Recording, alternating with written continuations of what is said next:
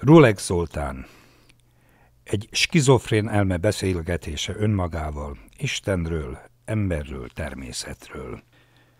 Mielőtt belekezdenél az olvasásba, az előítéleteket megelőzvén önmagammal kapcsolatban szeretném leszögezni, hogy távolról sem vagyok ateista. Hiszek Istenben, a teremtésben és mindenben, amit a Szent Biblia ír, csak éppen képtelen vagyok elsiklani olyan dolgok felett, amelyek szembetűnőek, elgondolkodtatóak, és amiket még soha senki nem tisztázott teljes mértékben, vagy még egy kicsit sem. Előszó Nagyon sok olyan gondolkodási alapot képező dolog létezik fizikai valóságában épp úgy, mint az emberi elmében, amelyekre elméleti magyarázok tömkelegével próbál az emberfia azóta definíciót alkotni, amióta csak képes gondolkodni. Nagyon nem egyszerű feladatról van szó. Amint megszületik valamelyik témakörben egy elmélet, bármennyire is tűnik logikusnak, szinte azonnal előáll valaki más egy talán még logikusabb cáfolattal – egyik gondolkodó teóriája üti a másik gondolkodó teóriáját. És talán soha senki nem fog hiteltérdemlő elmélettel előrukkolni egyetlen ilyen gondolkodási alapot képező dologban sem. Minden esetre próbálkozni lehet. Könyvem szereplője is egy efféle gondolkodó, akit érdemének megfelelően egyszerűen csak Sapiens névvel illettem és aki talán szerencséjére mondható, a kettős személyiségnek egy olyan formáját hordozza, minek köszönhetően abszolút két személyként képes társalogni. Két személyként egymagában. Sapiens egy fiktív személy, aki egy képtárban tett látogatást követően hazafelé menet leül egy parkban, és a padon üldögélve hosszasan gondolkodik és próbál magyarázatot találni néhány olyan kérdésre, amelyek talán örökre tisztázatlanok maradnak. De nem ő előtte. A képtárból az egyik festmény indítja el a fantáziáját. Megtalálja felmerülő kérdésre a saját észjárásának megfelelő magyarázatot, aminek hatására aztán egy újabb kérdés ötlik fel benne, majd még egy, még egy, és így tovább. Az egymást követő fejezetek egymásból erednek, összekapcsolódnak, egyetlen folyamatos párbeszédet alkotnak. Olvasásuk folyamatában ajánlott a tisztelt olvasó számára. Első fejezet Ádám és Éva Órák óta sétálgatott Sapiens a képtárban kiállított alkotásokat csodálva, mire lecövekelt az Ádám és Éva a Paradicsomban című festmény előtt.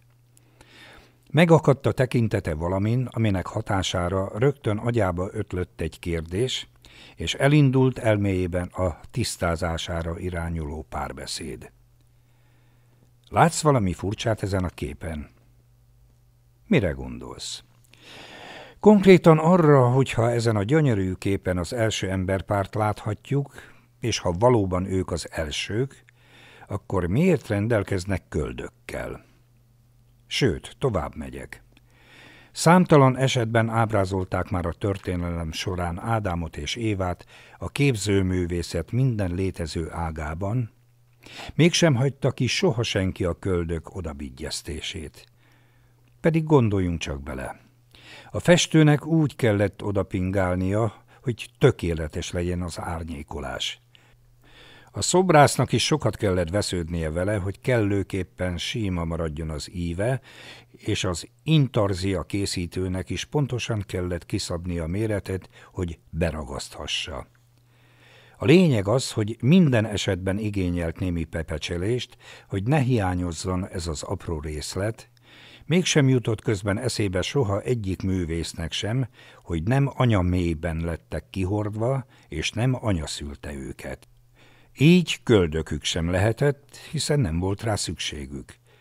Pedig valószínűsíthetjük, ha már egy ilyen jellegű és történeti remekmű megalkotására adja egy művész a fejét, akkor ismeri a teremtés leírását. De akkor miért adtak neki köldököt? És miért nincs és nem volt soha egyetlen kivétel sem, aki foglalkozott volna ezzel a kérdéssel, és törekedett volna az eredetiségre. Miért? Hm.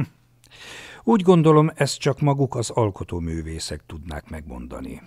Talán meg kéne kérdezni egyet a még élő olyan művészek közül, akik ábrázolták már őket.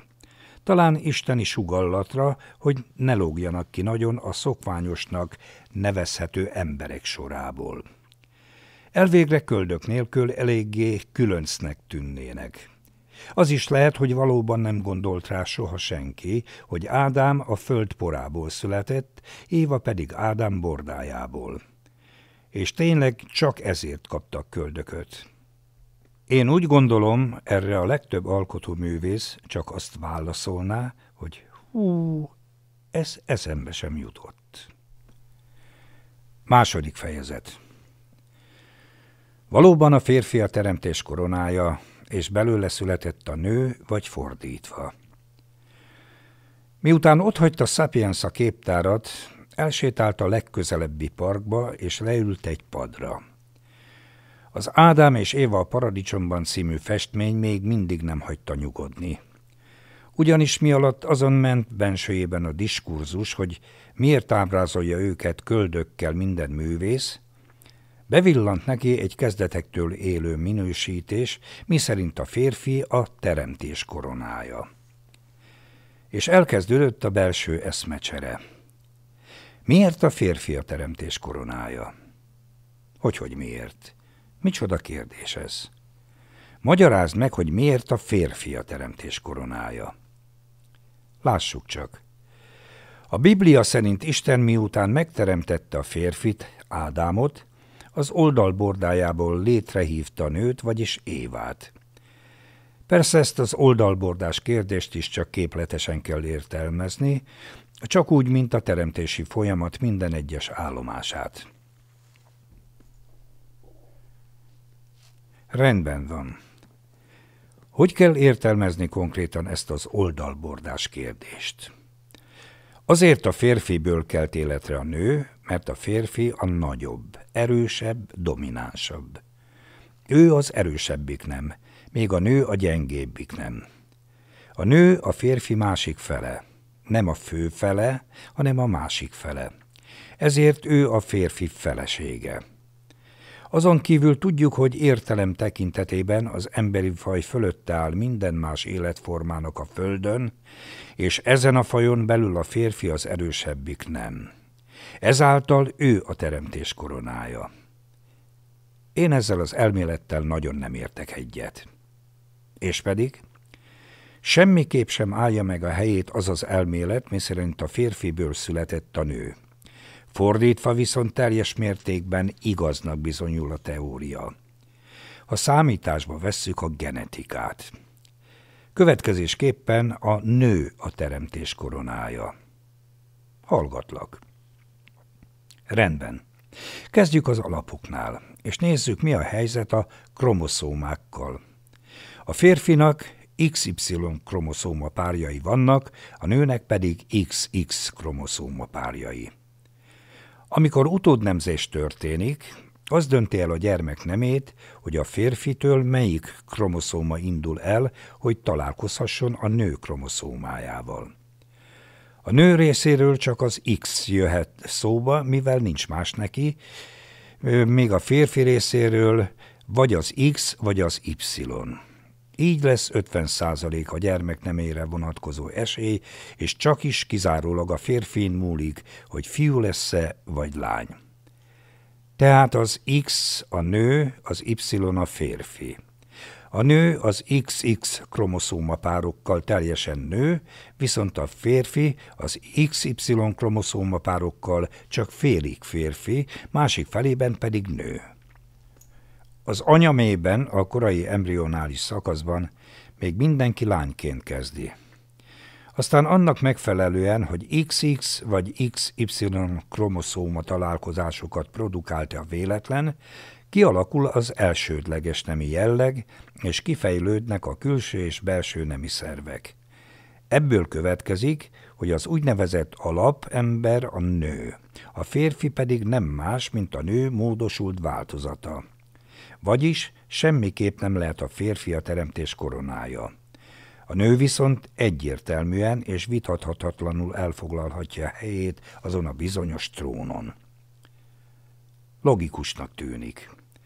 Nem csak annak tűnik, hanem valóban az. Gondolj csak bele. Mi a legszembetűnőbb bizonyíték az elmélet igazolására? Mire gondolsz? Hát a melbimbókra. Mit keresnek a férfin melbimbók? Na, erre sosem gondoltam volna. Pedig ott vannak a férfin, és nem csak az emberen, de minden emlős faj hím egyedei rendelkeznek melbimbókkal. Minek adta nekik a természet, ha nincs rá szükségük? A korábbiakra visszatekintve nem adta a természet nekünk a melbimbókat, hanem egyszerűen csak nem vette el. Miután elkezdtünk lányból fiúvá válni az anyamében, mintha rajtunk felejtette volna. Pontosan erről van szó. A kromoszóma találkozás eldöntötte, hogy nézzen ki az elsődleges nemi jelleg. Majd később a belső nemi szervek hormontermelése eldöntötte, hogy milyen legyen az izomzat, csontozat, hangszín, és hogy ki melyik nemhez vonzódjon. De az elsődleges nemi jelleg kialakulása előtt még semmi nem volt biztos, így nőneműként mindenki megkapja az emlőket melbimbókkal együtt, és örökre rajtunk is marad. Hogy némiképp ismételjem önmagam, a férfi nem más, mint módosult nő. De ha tényleg helyesen szeretnék fogalmazni, a nő az ember, a férfi pedig nem más, mint másodrangú, módosult ember, akire azért van szükség, mert fajunk nem rendelkezik az önmegtermékenyítés képességével. Igen, a nő a teremtés koronája.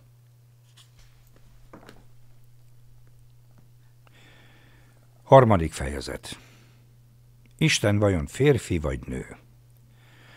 Sapiens elégedetten a padtámlájának dőlve konstatálta, hogy ismét sikerült megbeszélnie önmagával egy igencsak érdekes kérdést. De a kíváncsi gondolkodó énje újra megszólalt. Ha a nő az úgynevezett alapember, és a férfi csak az Y-kromoszóma jelenlétének köszönhető módosulási forma, vagyis csak másodrangú ember, akkor Isten vajon férfi vagy nő? Mert ugye szinte minden felületen férfiként szerepel, vagyis másodrangúként. És nem hiszem, hogy pont a másodrangú teremtmény mintázná a mindenhatót. Érdekes kérdés. Istent nem úgy kell elképzelni, mint egy embert. Ő ott van mindenhol, áthat mindent. Ő maga a létezés, a mindenség. Ez esetben nem fedi a valóságot a Bibliában az a rész, amelyik azt írja, hogy Isten a saját képmására teremtette az embert? Valóban, elgondolkodtató. És ha mégis igazat ír a Biblia, és ha tényleg a saját képmására alakított minket az Úr, akkor viszont ő magának is emberszerűnek kellene lennie. Na már most, ha küllemre emberszerű, ő maga is csak másodrangú lenne. Nem, az nem lehet. Pedig a keresztények szerint tényleg az. Ezt hogy érted? Néhány vallás kivételével szinte mindenhol férfiként ábrázolják Istent, de a kereszténységgel kapcsolatos festményeken csak is kizárólag férfiként láthatjuk. És ha a kromoszómáknak köszönhető külsőnk szemszögéből nézzük a dolgot, akkor bizony ő is csak másodrangú módosult emberforma. Úgy gondolom ezt a feltételezést nem lehet ilyen megközelítésből szemlélni. Ugyanis Isten nemtelen. Nem állíthatjuk sem azt, hogy férfi lenne, sem azt, hogy nő. Az Istent ábrázoló freskók nyilván tévesen festik le a teremtőt férfi külsővel. Isten nem a férfit teremtette a saját képmására, hanem az embert. Az úgynevezett alapembert, vagyis a nőt. Ha neked így tetszik, akkor igen. Az úgynevezett alapembert. Azt hiszem, ezzel sikerült is választ adnunk a kérdésre. Igen, tudom, mire gondolsz. Isten neme nő. Nem, nem nő, nem férfi. Azt hiszem, rájöttem a megfejtésre. Negyedik fejezet. Biztos, hogy az ember teremtette Isten a saját képmására? Egy kutyát sétáltató nő haladt el Sapiens előtt, és ez az idilli látvány egy újabb kérdést kotort elő a gondolkodó elme bugyraiból. Mit gondolsz, vajon tényleg az ember teremtette Isten a saját képmására? Persze, hogy az embert. Ki mást? Talán az egeret? Minden képzőművészeti alkotáson vagy alkotásban emberi külsővel láthatjuk. A Biblia is azt írja, hogy az ő mintájára születtünk, és Mózesnak és emberként jelent meg. Igaz, hogy gyerekként, de akkor is csak emberként, nem igaz? Ne feled, hogy a Bibliát emberek írták. Isten is ugallatra. De akkor is csak emberek. És mi van Mózessal? Neki is emberként jelent meg, hogy kőbe vésesse vele a tíz parancsolatot. Igen. Azért emberként jelent meg, mert éppen az embert kellett, hogy némi okítással segítse. Ezért nem jelenhetett meg elefánt vagy oposszumként, csak is emberként. Nem csak a keresztény, de minden valláskultúra beszámol valamilyen fajta megnyilvánulásról, de mindenhol emberi megnyilvánulásról. Ennek köszönhetően könyveltük el, hogy az Úr képmására teremtettünk. Ha kutyák lennénk, akkor kutyaként jelent volna meg, és most minden vallás kutyaként emlegetné, és akkor is csak azt mondanánk, hogy ő utána vagyunk formázva. Na jó, kíváncsivá tettél, hallgatlak. Isten senkit és semmit nem teremtett az önnön hasonlatosságára, és ugyanakkor mindenkit és mindent az önnön hasonlatosságára hozott létre. Hogy értsd? Istent senkihez és semmihez nem lehet hasonlítani, de ugyanakkor mindenkihez és mindenhez hasonlíthatjuk, mert ő ott van mindenben. Ő maga a létezést, mint teremtő tudat, ott van minden sejtünkben, minden fűszálban, minden atomban. És ezt ne csak a bolygónkra korlátozt, hanem értsd az egész univerzumra. Mi emberek azért gondoljuk a saját Istenünknek, mert mi szorultunk rá leginkább a segítségére. Így a mi képünkben kellett megmutatkoznia, hogy útmutatást adjon. Mi szorultunk rá leginkább a segítségére? Igen. Nézzük egy kicsit a biológiai szemszögből a dolgot. Az emberi faj a leggyámoltalanabb emlősök közé tartozik, és ez így volt a kezdetektől fogva. Ahogy vége szakadt a dinoszauruszok több százmillió éves uralmának, onnantól kezdve sokkal több életteret kaptak az emlősök. Idővel megjelentek az emberek is, akiknek a maihoz hasonlóan ugyancsak nem voltak elég erős izmaik, karmaik, fogaik. Ennél fogva még a dögevők is fölöttünk helyezkedtek el a ranglétrán. A ragadozó levadázta a zsákmányállatot, amit meghagyott belőle, azt megették a lesben álló kisebb ragadozók, Miután ők is jól laktak, jöttek a dögevők, és lerágták a csontokról a porcokat és csak ezután merészkedett oda a gyámoltalan ember, hogy ellophassa a csupasz csontokat. Elbújt a barlangjába, és éles kövekkel összetörte, szétvágta az ellopott csontokat, és kiette belőlük a velőt. Amúgy meg abszolút minden evőnek számított. Megevett mindent, amit talált. Rovarokat, növényeket, apró rákcsálókat, dögevők, maradékait, bogyókat, gyümölcsöket, mindenféle fajta termést. Egyébként semmiben nem különbözött különösebben akkoriban sem a többi állattól. Minden emlősnél megtalálható ugyanennyi belső szerv, csont, izomcsoport, ugyanazon az elven működő idegrendszer, ugyanolyan szövetek, csak éppen fajonként más-más mérettel és mértékű funkcióval. De az ember nagyon nem állt a helyzet magaslatán. Még egy kis testű kutya is megtépte. Aztán drámaian lecsökkent a létszámuk. Ugyanis, hogy minél jobban ellensúlyozhassák a gyámoltalanságukkal járó hátrányukat, és közben kihasználhassák a szembeforduló hüvelykújjukat a kézügyességüket, a két hátsó lábokra emelkedtek, és így kezdtek közlekedni. Viszont a két lábon járás mellékhatásaként a csípő megváltozott. A nők szülőcsatornája beszükült, és csak úgy maradt életben anya és gyermeke, ha jóval korábban történt a szülés, mint ahogy annak eredetileg lennie kellett volna.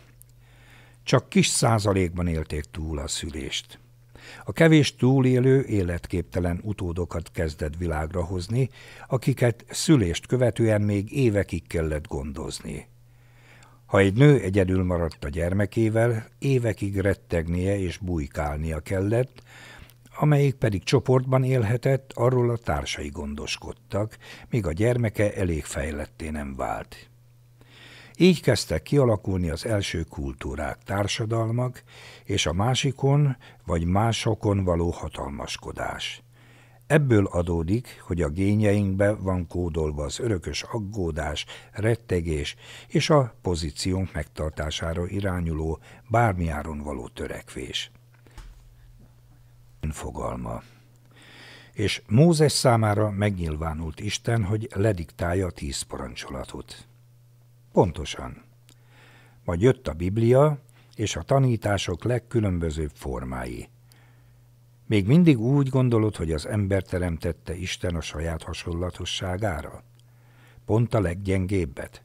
Akit épp a gyengeségre sarkalt arra, hogy a kényszerűségből gondolkodásra és szerszámok készítésére adja a fejét, csak azért, hogy ne a bozótból kelljen lesnie, hogy mikor lophatja el a dögevők maradékait. Nem hinném. Hiszen ha a szöveteinket és a szervezetünk működését, illetve azok fajtánkénti vagy fajonkénti hasonlóságát vesszük alapul, akkor bármelyik életforma teremtődhetett az ő hasonlatosságára. Rendben, igazad van. Sokkal helytállóbb, hogy Isten a saját képmására senkit és semmit nem teremtett, és ugyanakkor mindenkit és mindent hiszen Isten nem más, mint a komplex létezést átható teremtő tudat. Ötödik fejezet. A hiányzó láncszem. És mi lehet az a bizonyos hiányzó láncszem? Ötlött fel az újabb kérdés Sapiens elmélkedőényében. Mégpedig megbeszéltük, hogy Isten mi módon hozta létre a világot és a bioszférát hogy igazából konkrétan senkihez és semmihez nem hasonlítható külön-külön, hiszen mindenben ott él, mint teremtő tudat. Na már most. Ha nem helyezett különösebb hangsúlyt külön csak az emberi faj megteremtésére, akkor mégis hogy kerültünk a földre? Mert bizony nagyon kilógunk a sorból. Induljunk csak ki az első emberek létszámából, és abból, hogy mikor is jelentünk meg a bolygón.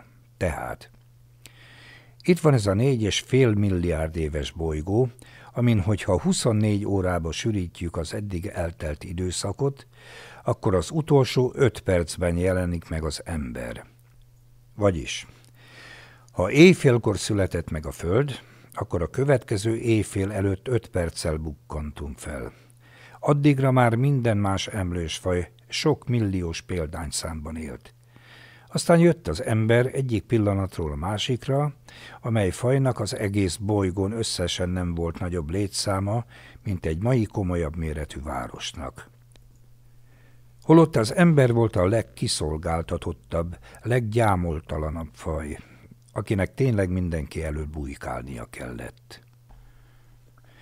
Ráadásul csak több évente volt képes világra hozni egyetlen utódot, aki ugyancsak évekig képtelen volt az önálló életre. Ennek megfelelően az anyja viselte gondját. Ezért nem értem. Még a legveszedelmesebb, legerősebb ragadozók is több ezerszer voltak többen, és szaporodtak sokkal gyorsabban, mint az ember. Márpedig tudjuk, hogy minél kiszolgáltatottabb egy faj, annál gyorsabban és annál több szaporulatot hoz a világra, és annál nagyobb populációban van jelen a Földön a túlélése érdekében. Például az egerek évente száz számra kölykeznek. A halak millió számra rakják le minden évben az ikráikat. De említhetjük még a nyulakat, békákat és rengeteg más fajt, akik képtelenek megvédeni magukat és az utódaikat az erősebb fajoktól. Szóval itt van az ember, akinek se éles karmai, se hegyes fogai, se erős izomzata nincs. Legalábbis a többiekhez képest, hiszen egy kisnövésű csimpánzis könnyűszerrel széttéphetné, és ezek ellenére olyan populációval bírt a kezdetekben, mintha már akkor ő lett volna a világ egyeduralkodója mintha tényleg csak úgy egyszerűen ide pottyantotta volna valaki ezt a szó szerinti néhány ősünket. Bizony kilógunk a sorból, ismételte. Annyira nem illünk a képbe, mintha eredetileg nem is a földi életforma lennénk. Mi lehet a magyarázata az emberiség megjelenésének? Nézzük csak. Három lehetséges válasz van a kérdésre. Hogy melyik a helytálló? Vegyük sorjába. Egy. A keresztény Bibliában leírtak. Isten miután végigment a teremtés szakaszain, a hatodik napon megteremtette az embert. A renitens ember nem bírta ki, engedett a kígyó csábításának, és evett a tudásfájának tiltott gyümölcséből. Erre Isten megharagudott rájuk, és kizavarta őket a paradicsomból. Viszont itt beszélnünk kell néhány körülményről. Ha a képletesen napoknak nevezett teremtési időszakot ténylegesen napokként értékeljük, és a hét napjaira vetítjük le, valamint figyelembe vesszük, hogy mikor jelent meg az ember a Földön, akkor láthatjuk, hogy a hatodik napon, szombaton éjjel fél tizenkettőkor bukkantunk fel. Miért csak az utolsó fél órában? Furcsa. És most térjünk el a képletes megnevezésektől. Mielőtt az embernek is leosztotta volna a teremtő a lehetőséget a bolygónkon való érvényesülésre, néhány százmillió évente úgy döntött, hogy addigi munkáját egy-egy tolvonással áthúzza. Hol egy üstökössel, hol egy szupervulkánnal, hol egy metánkitöréssel, hol egy napkitöréssel, de bizonyos időnként úgy döntött, hogy tömeges kihalást idéz elő. Vagy inkább nem akadályoz meg egy-egy tömeges kihalást. Fajok millióit és egyedek milliárdjait elpusztítva adott életteret időről időre újabb teremtményeknek. Hogy a saját munkájával volt-e az említett esetekben elégedetlen, vagy tényleg csak az élettér biztosítása volt a cél az új fajok számára, azt hiszem, ez örökre rejtély marad. De egy biztos, iszonyú méretű pusztításokat hajtott végre. Miért? Vajon mi is kaptunk több százmillió évet? Vagy mi jóval hamarabb kiérdemeljük a tömeges kihalást, mint a korábbi életformák? Okos emberként, hiszen ettünk a tudás almájából, ma már képesek vagyunk jó eséllyel kiszámolni a lehetőségeinket, és hogy meddig vagyunk még képesek harmóniában élni a bolygónkkal és saját magunkkal. De hogy valójában mi vár ránk, annak tényleg csak az Isten a megmondhatója. 2. A Sumér teremtés történet. A sumérok ugyan ezt írták le, mint a keresztény Biblia, csak éppen jóval korábban, mint egy ezer évvel megelőzvén a keresztény Biblia írókat. A különbség a sumérok írásaival kapcsolatban annyi, hogy ők nem képletesen, sokkal inkább tényszerűen fogalmaztak.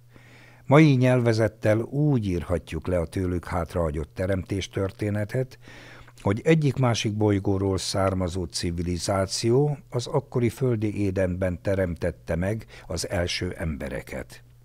Ez az édenkert a Tigris és az Eufrátesz folyók közötti terület volt, ahol magas, hosszú hajú, ragyogó, kékszemű, hosszú fehér ruhában és mezítlábjáró lények egy azóta kihalt majomfajból génmanipulációval tenyésztették ki az első emberpopulációt, akiket aztán szélnek eresztettek a világba.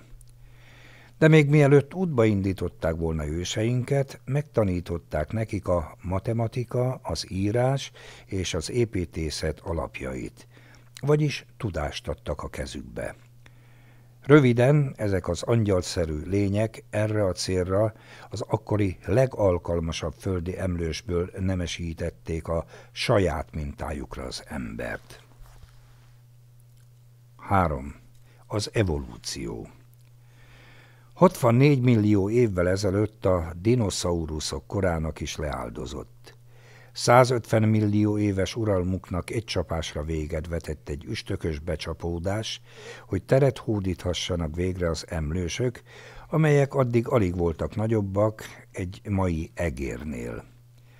Aztán a jelentősen jobb életkörülményeknek, valamint a sokkal több és értékesebb tápláléknak köszönhetően nagy léptékű fejlődésnek indultak. Egyesek megnőttek, még mások kisebbek maradtak. Némelyek a gyengébbeket kezdték megenni, egyéb példányok pedig megmaradtak a kényelmesebb vegetáriánus életmódnál. Akik meg nem voltak sem elég erősek, sem elég gyorsak, azok azt ették, amihez éppen hozzájutottak. Növényeket, elhullott példányokat, vagy a ragadozók maradékaként heverő dögöket. 62 millió év elteltével, de mondhatjuk úgy is, hogy két millió évvel ezelőtt már a majmoknak is nagyon sok fajtája létezett. Az ember is, aki a gyenge testi adottságait, hogy folyamatosan ellensúlyozni tudja, gondolkodni volt kényszerű. A gondolkodás pedig az agysejtek stimulációjának számít, és ugyanúgy fejlődésnek indítja az agyat, mint például a fizikai munka, az izomzatot vagy a csontszerkezetet. És lassacskán elkezdett szerszámokat készíteni, lerajzolni a különböző hangokkal jelölt dolgokat a környezetéből, később pedig a közösségeiből társadalmakat kovácsolt, és létrejött az emberiség. Ami a felemelkedésünk kezdetén jellemző elenyészően és ugyanakkor ellentmondásosan alacsony példányszámot illeti, a megváltozott szülési szokások következménye volt. Semmi más, mint a két lábra emelkedésünk eredményeként alakult így. Tehát ennek a három verziónak a valamelyike a hiányzó láncszem.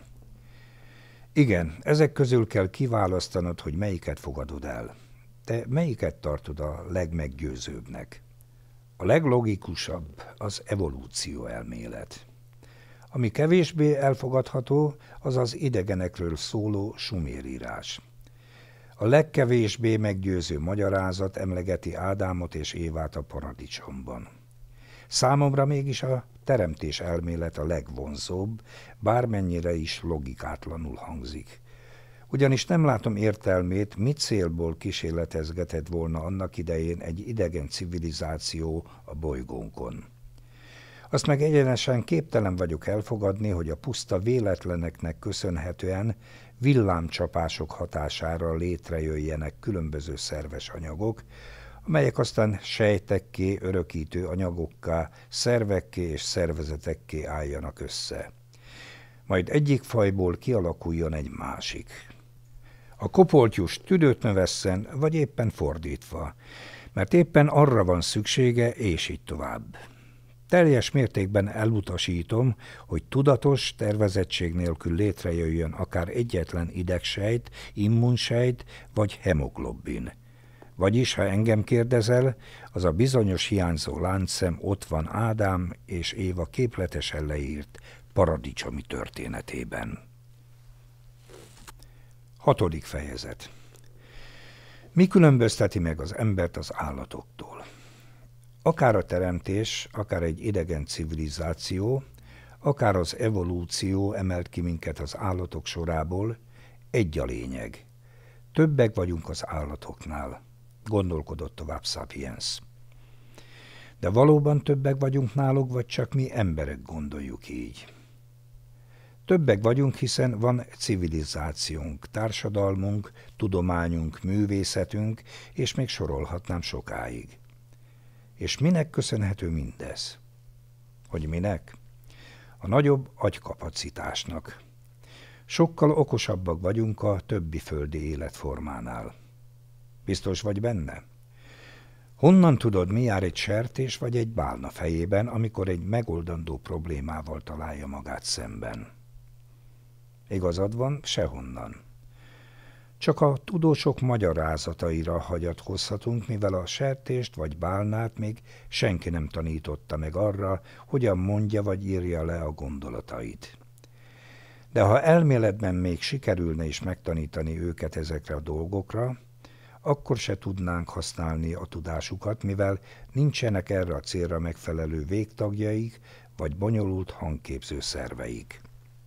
Helyesen látod a dolgot. Csak képzeljük el, hogy a meglévő szellemi szintünkkel egy reggelen bálna vagy sertés testben ébrednénk. Hogy adnánk a környezetünk tudatáról, hogy mi vagyunk azok, csak éppen nem a megfelelő testben? Sehogy. Bárhogy erőlködnénk, nem tudnánk se elmondani, se leírni. Csak a menekülés maradna számunkra, nehogy levadásszanak, vagy a többi sertés közé lökjenek. Esetleg, ha elég türelmesen bögdösnénk az orrunkkal az embert, és gurgatnánk eléjük különböző tárgyakat, akkor dobálnának nekünk némi csemegét, de azon kívül semmilyen kapcsolatot nem tudnánk létesíteni velük. Legfeljebb az orrunkkal vagy a lábunkkal írhatnánk nagyméretű betűket a porba, hogy felhívjuk magunkra a figyelmet. Ugyanis mi legalább ismerjük a betűket. De vajon nem lenne erre képes bármelyik bálna vagy sertés, ha ő is megkapná a lehetőséget a tanulásra? Hiszen az ember is legalább egy évig tanulja a hangok papírra rajzolását, vagyis a betűket. Egyébként meg a mai napig is emberek milliói analfabéták. Na nekik aztán tényleg semmi esélyük nem lenne a kapcsolatfelvételre egy ilyen testcserét követően. De akkor mégis mi különbözteti meg az embert az állatoktól, azon kívül, hogy mi bonyolultabb társadalmakban élünk, és rengeteg tudományos ismerettel rendelkezünk.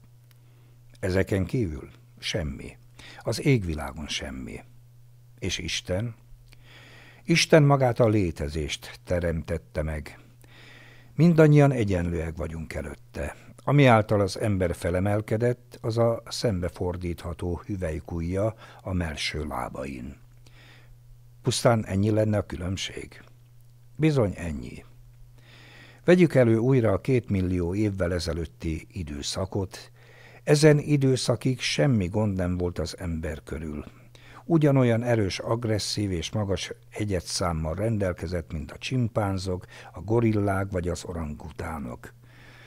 Viszont a teremtő adott valamit az ember két melső lábára. Valamit, amit semmilyen más élőlény nem kapott a természettől. Ez pedig a szembefordítható hüvelykúj volt. Egyetlen fő emlős sem képes olyan precizitással használni ezt az apró testrészt, mint az ember. És mint tudjuk, ez az adottság nagyfokú kézügyességgel és alkotókészséggel is jár. Amint eljutott az egyetfejlődés során az ember tudatáig, hogy mit is kapott a természettől, és felismerte a melső lábában rejlő lehetőséget, elkezdett gyökeresen megváltozni az élete, és innentől kezdve a melső lábakat nevezhetjük kezeknek. A gorilláktól és a csimpánzoktól eltérően az ember bonyolultabb dolgokat is elkészíthetett, mint például pattintott éles kövek és egyéb szúróeszközök. Aztán, hogy minél jobban kihasználhassa a kezek és a szerszámok adta előnyöket, két lábra emelkedve kezdett járni. A két lábra emelkedés bizonyos szemszögből drága mulatságnak minősült, mert a természet ellenesen megváltozott testtartás hatására beszűkült a nők szülőcsatornája, ennél fogva csak nagyon ritka esetben maradt életben anya és gyermeke. Csak is a koraszülött gyerekek tudtak világra jönni, akik jóval kisebbek és gyengébbek voltak az egészségesnek nevezhetőnél. Az emberek majd, hogy nem kipusztultak, mindössze néhányan maradtak életben. A kevés túlélő, alkalmazkodva a megváltozott feltételekhez, onnantól kezdve a mai napig is hiszen még mindig az ember gyermeke szorul a leghosszabb ideig a szülők segítségére, és a legkésőbb kezd el járni, maga tehetetlen gyerekeket hozott a világra, akikről évekig gondoskodnia kellett az anyjának és a csoporttagjainak. Ezen kívül még bővült a két lábon járás adta problémák sora azzal is, hogy a gerincnek már nem csak a csípőt és a vállövet kellett összekötnie, hanem súlyt is cipelhetett. Ettől a csigolyák közti porckorongok összenyomódtak, és megjelent a hátfájás, derékfájás, gerincsérv, lumbágó. A vérkeringésnek sem tett jót a testtartásbeli reform, a belső szervek, amelyeknek az eredeti konstrukció alapján a gerinc mellett szép sorban kéne lógniuk, a felegyenesedés eredményeként egymás alá kerültek. A belek pedig beleültek a medencébe, túlnyomást előidézve ezzel a vénás keringésben. Részleges elszorítással akadályozva a vér útját, előbb-utóbb minden embernél kiváltják a belek az aranyérbetegséget és a lábak viszértágulatát. Vagyis, ha nem olyan a hüvelykújunk, amilyen, akkor nem kezdünk el két lábon járni. Nagyobb és erősebb gyerekeket szülünk, akik a többi emlőshöz hasonlóan néhány nap után járó képesek, és az említett népbetegségek is ismeretlenek maradtak volna. Pontosan. És nem váltunk volna ki, illetve nem emelkedtünk volna ki a többi emlős egyszerű világából. Így igaz? Bár ami azt illeti, itt még valamit meg kell említeni, mégpedig a hangképző szerveinket. A hüvelykúj és a hangképző szervek együttese jelentette számunkra az abszolút előnyt. Képesek voltunk a környezetünkben lévő dolgokat más-más hangokkal illetni, de mondhatom azt is, hogy nevezni. Meg tudtuk nevezni a fát, madarat, vért, bármit. Majd a kezünkkel ezeket a megnevezett dolgokat le tudtuk rajzolni. Ezeket a rajzokat nevezhetjük akár szavaknak is. Később már nem csak a szavakat tudtuk lerajzolni, hanem a hangokat is, amelyeket szavakká kovácsolhattunk, és így már bármit leírhattunk. Attól a naptól kezdve, ahogy megszületett az írás, elkezdődött a tudás halmozása. Már nem nulláról indult az embergyerek, és nem csak a saját maga által összegyűjtött ismeretek birtokában halt meg az öregségében, hanem a saját tudásával együtt az elődei ismereteit is továbbadhatta az utódainak. Az agyunk pedig rohamos fejlődésnek indult. Ahogy a fizikai munka hatására erősödik és gyarapodik az izomzat és a csontozat, úgy nő az agy befogadó képessége és memóriája. Ha a gondolkodásra, tanulásra van sarkalva, stimulálni kell, ennyi az egész. Ennyi? Ennyi lenne a különbség? Ennyi, semmi több. Csupán ezen előnyök hiánya miatt nem képes lépést tartani velünk, és maradt meg természetes közegében a nyúl, zsiráv vagy rénszarvas. Ha nekik is megadatott volna ez a két szerencsés adottság, akkor ma ők is gyógyítanának, moziba járnának, háborúznának, és vallási felekezeteket hoznának létre. De egyébként nincs különbség. Minden gerincesnek, és maradjunk akkor már az emlősöknél, ugyanannyi csontja, izoncsoportja és szerve van. Mindannyiunkban hemoglobinok szállítják az oxigént, a sertésnek ugyanolyan epegörcsei vannak, mint az embernek, és ugyanúgy fuldoklik egy macska a félrenyelt falat miatt, mint egy egér. Belátom. Egyértelmű, hogy biológiai szempontból semmiben nem különbözünk egyik gerincestől sem, pláne nem az emlősöktől. Sertésekből még szívbillentyűt is ültetnek át az emberbe, és ez csak egy a sok példa közül. De ha belegondolok, mégiscsak van különbség ember és a többi faj között. És pedig egyedül mi hatalmaskodunk nem csak a bolygó és az egész bioszféra fölött, de egymás fölött is. Hetedik fejezet Mi a lélek? Attól függetlenül, hogy sikerült Sapiensnek megállapítani az ember és a többi faj közötti jelentéktelen különbséget, egy gyakran emlegetett tényező továbbra sem hagyta nyugodni. Ez pedig a lélek fogalma. Valaminek azért csak meg kell különböztetnie az embert a többi életformától.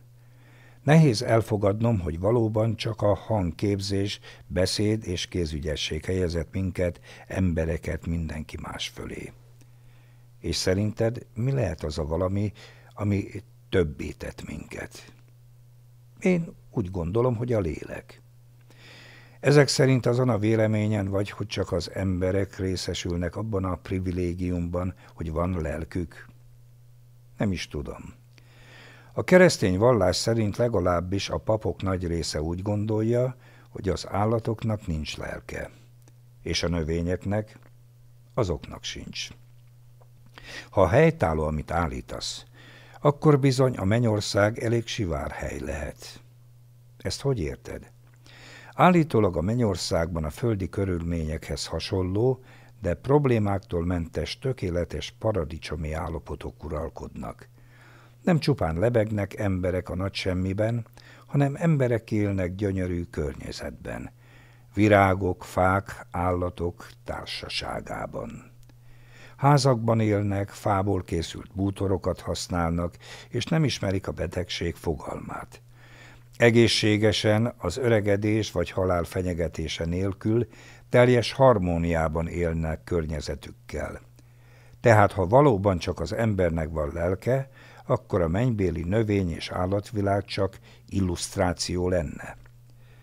Puszta illúzió, ami semmi más célt nem szolgál, csak azt, hogy az emberek lélekserege számára komfortosabbá tegye az életet. Nem hinném.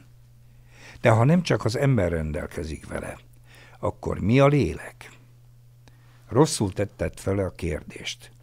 Nem az ember rendelkezik lélekkel, hanem a lélek emberrel. És nem csak emberrel, hanem mindennel. A lélek mindenkiben és mindenben ott van, még egy darab kőben is. A lélek maga Isten. A mindenható egyetemes teremtő tudat senkit nem helyez senki fölé, és senkit nem tesz többé a másiknál. Mi magunk emberek helyeztük magunkat mások fölé. És úgy gondoljuk, úgy, hogy többek vagyunk másoknál, csak azért, mert a beszédnek, írásnak és kézügyességnek köszönhetően bonyolult társadalmakat hozhattunk létre, és megadatott számunkra az ismeretek halmozása, vagyis a tudomány. Mégis hogy képzeljem el ezt az egészet, mármint a lélek fogalmát? Úgy gondolom, mivel a lélek ott van mindenkiben és mindenben, létezik egy közös hely, egy amolyan elosztó. Ezért nem határozhatjuk meg számokban. Nem mondhatjuk azt, hogy lelkek száma, mert mindenhol ugyanaz a lélek van. Úgy kell elképzelni, mint egy elektromos áramelosztót, Bedugunk a 220 voltos konnektorba egy ötös elosztót, aminek aztán mind az öt konnektorában ugyanúgy 220 volt jelenik meg, mint az alapkonnektorban. Meglehetősen banális példálózás volt. Igen, de azt hiszem érthető. Ez az egyszerű magyarázat talán képes megértetni az emberrel azt a feltételezést, hogy mindenkiben ugyanaz a lélek él. A mindenki alatt mindent értek, nem csak az embereket. Állatokat, növényeket, még a köveket is. Mindent. Ebből fakadóan mondta Jézus annó a következőt. Ha másokat bántasz, azzal magadat bántod. Ha másoknak adsz, azzal magadnak adsz. Értem. Ezen egyszerű oknál fogva mondhatjuk, hogy nem az ember rendelkezik lélekkel, hanem a lélek emberrel és minden egyébbel. Pontosan. Hadd említsek meg egy igazán apró bizonyítékot, miszerint a tudat alattink tisztában van ezzel a tényjel. Előgyáróban megjegyzem, nem a nyelvünk csalafintaságának köszönhető, hogy így mondjuk. Minden nyelv így közli a következőt, amikor tükör elé áll az ember, vagy egyébként a testére utal. A testem. Úgy emlegeti saját magát, mint egy a birtokában lévő dolgot. Azért, mert nem saját magát emlegeti az ember, hanem a lélek emlegeti a testét. Vagyis a lélek mondatja ezt a saját emberi testével? Igen. A lélek, mint a test tulajdonosa. Az állatokkal vagy a növényekkel miért nem mondatja ezt vagy hasonló dolgokat a lélek? Azért, mert ők nincsenek azon a szellemi szinten, hogy legyen én tudatuk. Akkor mi bizonyítja, hogy van lelkük? A korábbi magyarázaton kívül?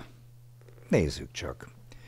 A növényekkel kapcsolatban semmilyen szellemi szintről nem beszélhetünk. Mégis oly módon reagálnak a környezetükben zajló történésekre, ami reakciókra csak a lélek jelenléte adhat magyarázatot.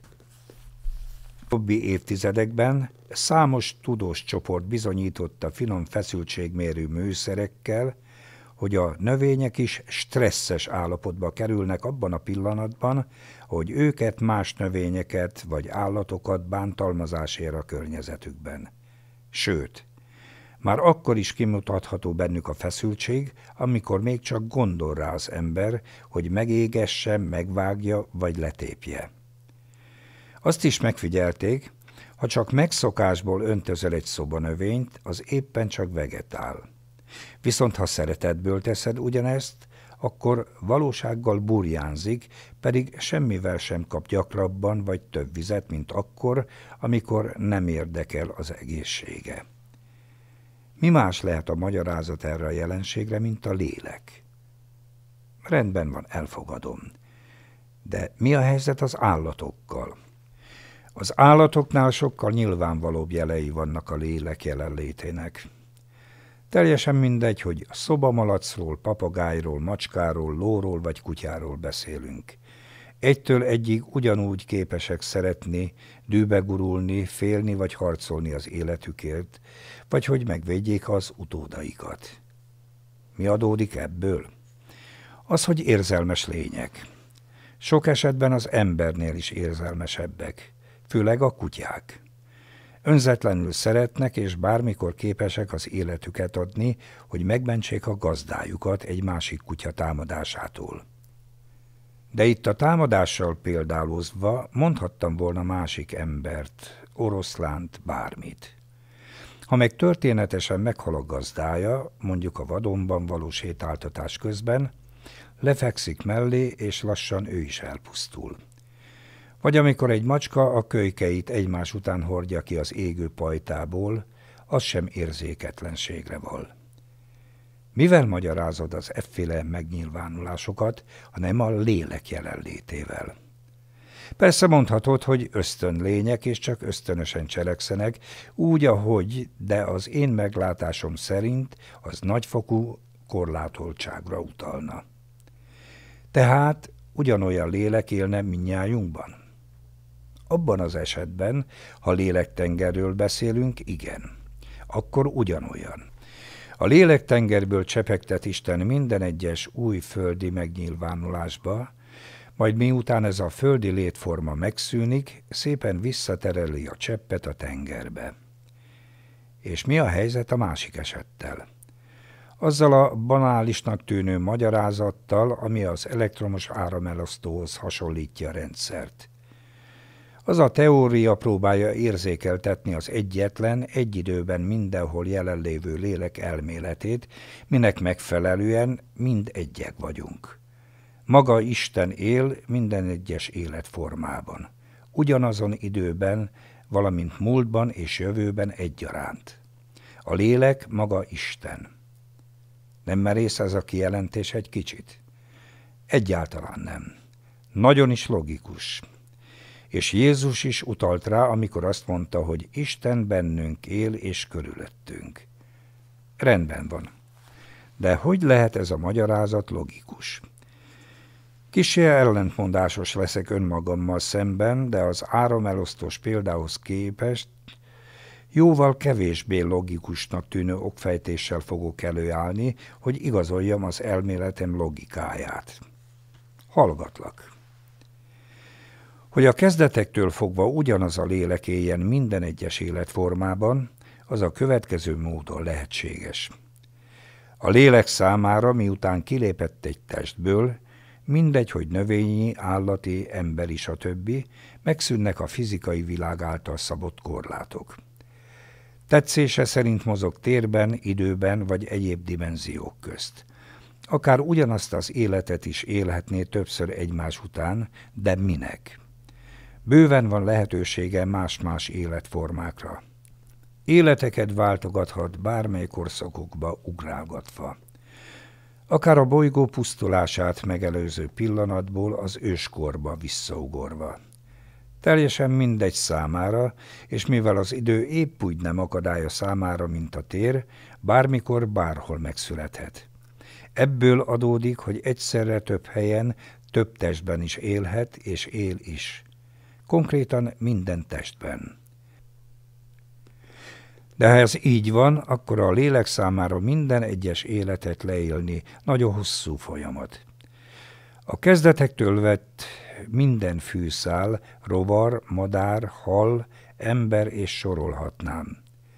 Ez valóban egy örökké valóság. Pontosan. Ez az örökké valóság, ami csak is a léleknek, vagyis Istennek adatik meg. Nyolcadik fejezet Mi számít bűnnek? Pár lélegzetvételnyi rágódás után újabb megválaszolandó kérdés merült fel Sapiens érdeklődő ényében, és folytatódott a belső párbeszéd. Ha valóban csak egyetlen lélek létezik, aki folyamatosan ott van mindenkiben, mindenben és mindenhol az idők kezdete óta, akkor mivel magyarázod az eltérő személyiségjegyeket? Gondolok itt empatikus vagy érzéketlen, illetve jó vagy rossz emberekre. De kérdezhetném azt is, hogy az egyik ember miért csak jó cselekedetekre képes, még a másiknak örömet okoz mások bántása, és csak nem gonosznak nevezhető. Nagyon helyesen, csak az emberekre utalva tetted fel a kérdést. Mire gondolsz? Arra, hogy az említett jellemvonások kifejezetten az emberiségre érvényesek. Miért csak az emberiségre? Hiszen az előbb mondtad, hogy mindenkiben, mindenben és mindenhol ugyanaz az egyetlen lélek lakozik. A lélek nem összetévesztendő a szellemmel, vagyis tudattal. Az evolúció és az egyetfejlődés által szolgáltatott néhány szerencsés tényező, mint például a korábban emlegetett szembefordítható hüvelykúj, és a bonyolult hangképző szervek lehetővé tették számunkra a tudás halmozását, és ezáltal a nagymértékű rohamos szellemi fejlődést. Ennek a szellemi fejlődésnek az eredménye az én tudat, de nevezhetném úgy is, hogy szellem. A lélektől függetlenedett szellem, mégpedig az a szellem, amiről a kísértett históriákban is szoktál hallani. Ugyanis a test halálával nem képes elenyészni, hanem egy idő után vagy kap egy új testet a további fejlődése érdekében, vagy amennyiben kiérdemli, kerül a megérdemelt helyére. De mégis hová? Ha már nincs hová fejlődnie, mert végigélt mindent a földön, amit okozott, és abszolút mentes az ártorosz gondolatoktól, akkor elfoglalhatja helyét azon a helyen, amit minden vallás számon tart, csak éppen máshogy nevez. A katolikus egyház éppenséggel mennyországként emlegeti. És ha még nem mentes azoktól a bizonyos negatív gondolatoktól, úgy hova kerül a szellem? Úgy bűnösnek tekintendő, és marad a földön, hogy elszenvedje a saját poklát, amit csak is saját magának köszönhet, hiszen saját maga hozta létre. Ezt hogy értsem? Úgy, hogy a lélekhez hasonlóan a szellem számára sem léteznek idő és térbeli korlátok. Bármikor, bárhol megszülethet. Ennek megfelelően válik lehetővé, hogy elszenvedjen minden test és lelki kint, amit okozott hogy értsd, egy egyszerű példát említek. Tegyük fel, hogy valaki szándékosan elgázol autóval egy macskát az úton, aztán nem szükségszerűen, pusztán macsóságból vagy rossz indulatból szerelmi bánatot okoz valakinek. Ezzel komoly szenvedést előidézve. Továbbá perverz módon megkínoz és megöl egy állatot vagy embert. Miután meghal a test, a szellem kiszabadul, egy bizonyos erő visszaviszi az időben, és miután törölte az emlékeit, beletaszítja az általa megkínzott állatnak vagy embernek a még születés előtti embrionális testébe. Ezáltal önmagát bántja, és így fogja elszenvedni a saját maga által okozott gyötrelmeket, vagyis a saját poklát. Miután kiszenvedett, és ez a test is meghalt, újra megragadja az a bizonyos erő, és beletaszítja a következő áldozatának az embrionális testébe, és így tovább. Amíg vissza nem kap mindent az Úrtól, vagy a sorstól, vagy Istentől, vagy a karmájától vagy saját magától, hiszen, ha jól értem, saját magát öli meg, vagy kínozza minden alkalommal, amikor így módon bántalmaz valakit, vagy valamit. Így van. Az előbb azt mondtad, hogy a viselkedés és a gondolkodásbeli diverzitás csak az emberekre jellemző. Egymás segítése és a szimbiózisra való törekvés minden életformánál, de az ártó szándék és a bűn jelenléte csak az emberek esetében említhető. A bűn kifejezetten az emberiség sajátossága, pontosabban a lélektől függetlenedett szellemé. Mi van a jó cselekedetekkel? Azokat is átéljük egy-egy újraszületéssel, hogy megtapasztalhassuk a hatásukat. Mindent átélünk, amit okozunk, legyen a szenvedés vagy öröm, Mindent visszakapunk, és így kapjuk vissza. Szó szerint mindent. Ahogy már idéztem Jézust, ha másokat bántasz, azzal magadat bántod. Ha másoknak adsz, azzal magadnak adsz. Hiszen így Jézus szavait szó szerint kell értenünk. Igen, szó szerint. Saját magadat segíted, bántod, vagy éppenséggel kínozod a következő életedben. Tehát ennek az újraszületési eljárásnak és megtapasztalások sorozatának köszönhetően érje el a szellem a tiszta, ártó szándéktól és negatív gondolatoktól mentes állapotot. Pontosan. Minden szellem eléri idővel azt a fejlettségi szintet, amivel már nem kell reinkarnálódnia. Előbb-utóbb mindenki bűntelenné válik. Honnan jönnek a szellemek, hogy aztán megszülethessenek és elinduljanak a fejlődés útján? Azóta születnek, ahogy elkezdődött az ember nevezető emlősfaj tudásának rohamos növekedése. Korpuszt foglalnak, majd a testben az élet során hozott döntéseik eredményeképpen kapnak minden elhasznált test után egy újabb testet annak megfelelően, hogy éppen hogy viselkedtek a legutóbbi testben. Ez mindaddig folytatódik, még teljesen bűntelenné nem válnak, és el nem érték a tökéletesség állapotát. De ha nem emlékeznek az előző élet döntéseire, cselekedeteikre, jó tetteikre vagy bűneikre, akkor hogyan fejlődhetnek? Úgy, hogy csak az emlékeik törlődnek, az érzelmeik viszont nem. Az érzelmeiket, mint hogy halmozva viszik tovább életről életre, míg nem tökéletessé válnak. Értem. Viszont hívő keresztényként nem tudom elfogadni ezt az elméletet. A keresztény hitvallás ugyanis úgy tartja, hogy nem létezik lélekvándorlás. Megszületünk, meghalunk, és majd amikor eljön a végítélet napja, akkor minden arra érdemes ember feltámad, hogy elfoglalhassa helyét a mennyországban vagy a pokolban. Vagyis szó sincs semmiféle szellemi fejlődésről. Nem hiszem, hogy így lenne. Mert ha ez az elmélet valós, úgy egy igazságtalan Istenről beszélnénk. Mire alapozod a megállapításod? Gondolj csak bele! Hány különböző sorsú ember élt eddig, és él ma is a Földön? Ha mindenki csak egyetlen életet kap, hogy aztán majd halála után várja a végítéletet, úgy micsoda különbségek lennének.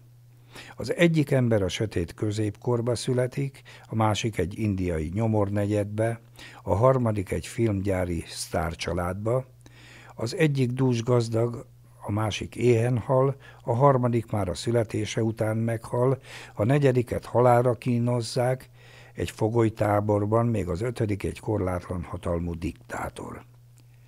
Ha tényleg mindenki csak egyetlen életet kaphat, mi alapján dönti el Isten, hogy ki szenvedjen, ki duskáljon, ki legyen egészséges, vagy éppen nyomorék? Igazad van.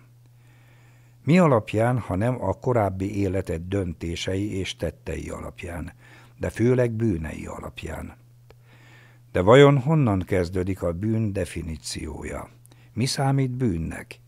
És ahogy már mondtad, miért csak az emberiség sajátosságának tekinthető a bűn? Lássuk csak. Egyetlen más életforma esetében sem beszélhetünk bűnös cselekedetekről, csak az emberiségében. Hogy miért? A növényeket nem vezérli semmi nemű gyarlóság. Élnek, ahová sodorja magot az élet. Vannak köztük parazitaként érvényesülni próbáló fajok, de igazán nagy kárt nem okoznak sem a gazdag növénynek, sem a környezetüknek. A hely változtatásra képes életformák, vagyis a növényeket leszámítva minden más faj, tökéletes szimbiózisban él egymással. Mindegy, hogy a ragadozóról beszélünk, vagy békés lombevőről. Ha ölésre kerül bármelyik faj egyedeinek részéről a sor, az azért történik, hogy megvédje magát vagy az utódját, illetve ragadozó esetében a táplálékszerzés érdekében. Vegyük példának az oroszlánokat. Leválasztják a bölénycsordáról a beteg legyengült példányt, elkapják és megeszik. A lehető leggyorsabban végeznek vele. Nem kínozzák, nem gyötrik, hanem gyorsan megölik és megeszik. Itt meg kell említenem, milyen okosan találta ki a teremtő az arányokat. A nagy létszámú növényevőkhöz kis létszámmal bíró ragadozókat adott. Szóval a ragadozó leválasztotta gyengébb genetikájú egyedet, megette és pihen. Nem halmoz és gyilkolgat számolatlanul, hanem pihen. Akár az orra előtt is legelészhetnek a növényevők, ő bizony nem támad újra, amíg meg nem éhezik. Nagyon hasznos, amit tesz, ahogy él, mert ha nem így lenne, akkor lehetősége lenne a gyenge genetikájú egyedeknek is a szaporodásra, és már régen úgy elkorcsosult volna minden életforma, hogy talán már nem is lenne élet a Földön. Legfeljebb csak a baktériumok szintjén. De hála Istennek megadatott a ragadozók nevezetű természetes szűrő, ami biztosítja, hogy csak az erősek örökíthessék tovább a génjeiket. Ez ugyanúgy érvényes a rovarokra, halakra, madarakra, hüllőkre, mint az emlősökre. Mindenki tökéletes összhangban él a számára rendelt környezetében. Már amennyit az emberek meghagytak belőle nekik. Rossz indulat vagy bűnös tevékenység sehol nem emlegethető, még abban a bizonyos macskaegér játékban sem, mert ott is vagy csak tetemet pofozgat a macska, vagy rövid időn belül végez az áldozatával. Ezzel szemben ott van az ember, aki háborúzik, kiírtja az erdőket, szennyezi nem csak a saját, de minden élőlény környezetét, perverz módon gyilkol, hobbiból vadászik, stb. Már az ősidők emberei is öltek kedvtelésből.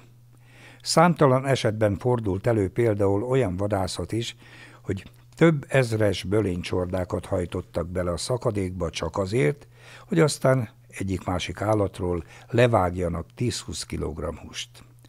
Nem vesződtek azzal, hogy leválasszanak egy állatot a csordáról, hanem kínhalára ítélte több ezret. Nagyon sok régészeti bizonyíték utal rá, hogy az emberek részéről így zajlott a táplálékszerzés a kezdet-kezdetén. Nagyon kegyetlen módszer. Bizony az. Nyugodtan állíthatjuk, hogy a bűn az emberekkel együtt jelent meg, és kifejezetten az emberiség sajátossága. Minden olyan cselekedett bűnnek számít, amivel szükségtelenül ártasz másoknak.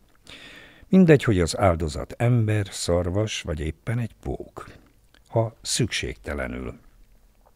És ha szükségszerűségből ártasz valakinek, az nem számít bűnnek. Az nem. De nézzük csak, mikor ártasz másoknak szükségszerűségből. Ha például meg kell védened magadat, vagy mást, aki képtelen erre, vagy a családodat. Vagy mondjuk háborús övezetben vagy, és azt látod, hogy egy aberrált fegyveres kegyetlenkedik valakivel. Millió példát hozhatunk erre a kérdésre, de a válasz egy. Ha csak úgy védhetsz meg valakit, hogy ölj, akkor nem csak, hogy ölhetsz, de ölnöd kell.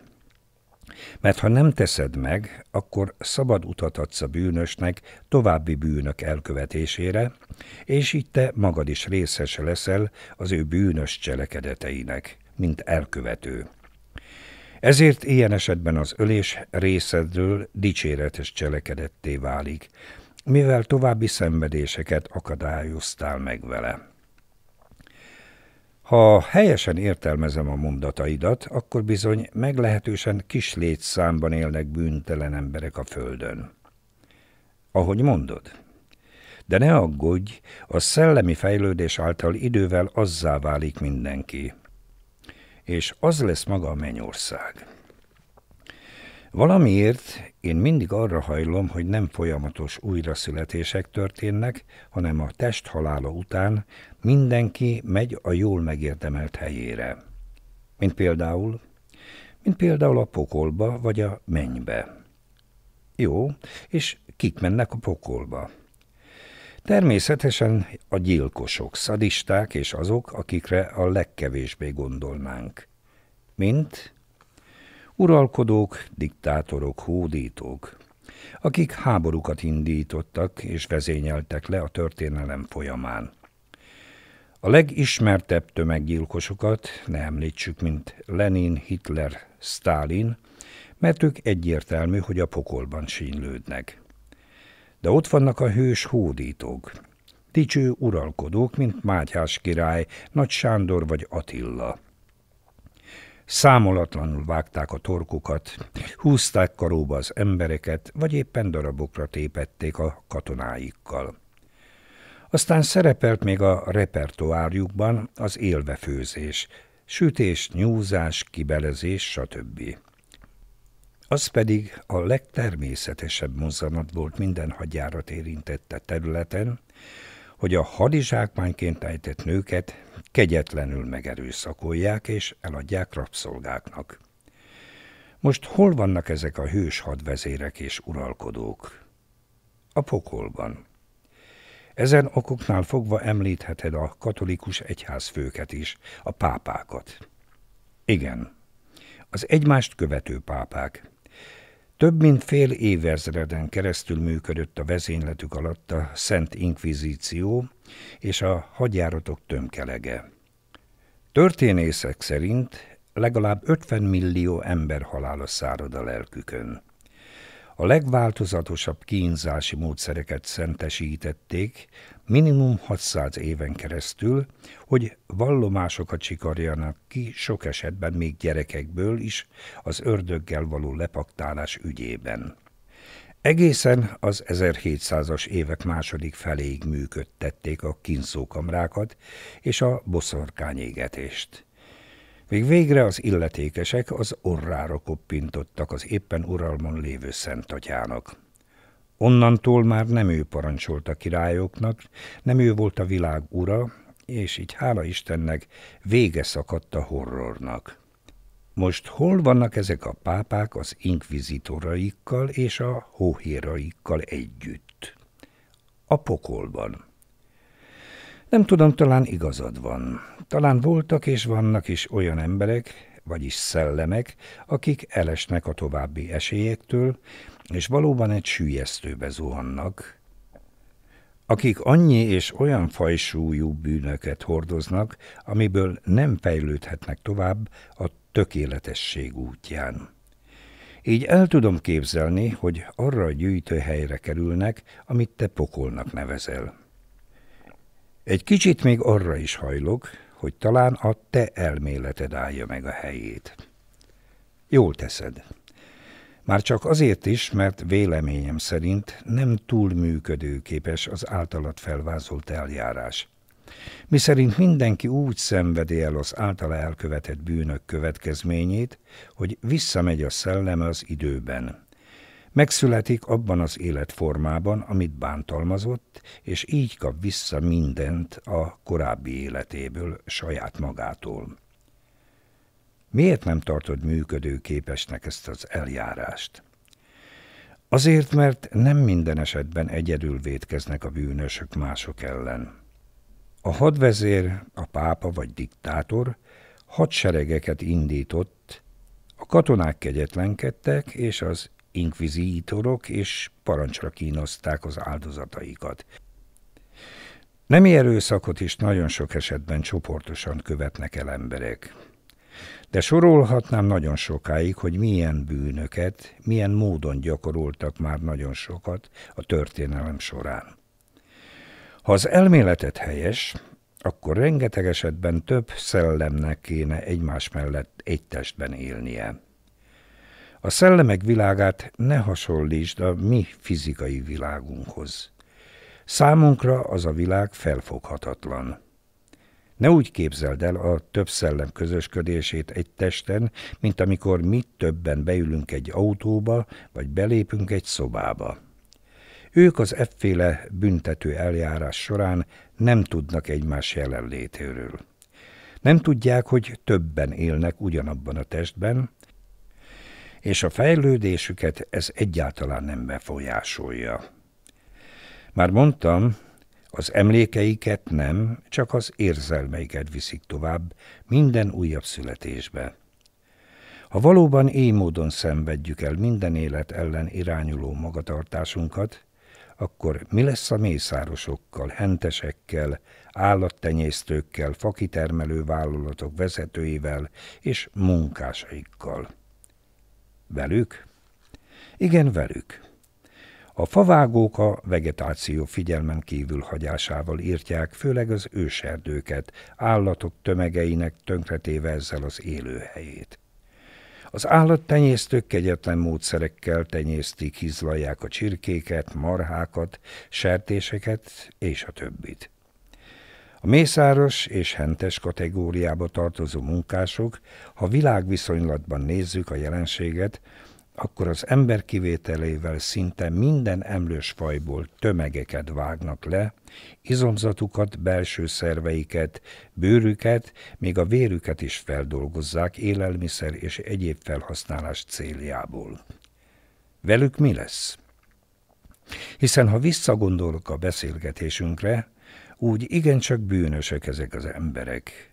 De nem csak ők, hanem mindenki, aki értelmet ad a munkájuknak azzal, hogy megeszi a termékeiket. Elég csak egy szelet felvágottat megennünk, és már is elismertük annak a személynek a munkáját, aki lefejtette egy élőlény csontjáról az izomzatot, és elkészítette a csemegét. Ezért mondtam azt, hogy a bűn az emberiség sajátossága. Évmilliárdokig tökéletes összhangban működött az ökoszisztéma a bolygón. Hogy csak a ragadozókkal példálózzak, természetes szűrőként ritkították a növényevőket, hogy ne véhessék tovább a beteg géneket, így segítve a fennmaradásukat. Bármelyik életformát említhetnénk, mindegyiknek megvolt a saját fontos szerepe abban, hogy ne sérüljön a földi harmónia. Soha nem hiányzott egyetlen láncszem sem. Míg nem megjelent az ember, és vele együtt a kapzsiság, mohóság, gyarlóság és hatalomvágy. Az ember már nem csak azért ölt, hogy megvédje magát vagy a családját, vagy hogy ehessen, hanem azért is, hogy elvegye mások értékeit, mások felett hatalmaskodhasson, és ami a legrosszabb, kedvtelésből. Az élet megjelenésétől eltelt időt behelyettesítjük egy egynapos időintervallumba, akkor éjfél előtt járunk, és csak néhány perccel létezünk. de már fajok százait, hanem ezreit pusztítottuk ki, növényekét, állatokét egyaránt. Egyszerűen eltöröltük őket a föld színéről. Folyamatosan mérgezzük a vizeket, a levegőt, számtalan életformán uralkodunk, belátásunk szerint gyötörjük, gyilkoljuk őket, a bolygót pedig egyfolytában alakítjuk, egyre természetellenesebb formát adva ezzel neki. Bárhonnan is nézzük, átok vagyunk a bolygóra nézve. A bolygóra, amin nálunk kártékonyabb faj, soha nem élt.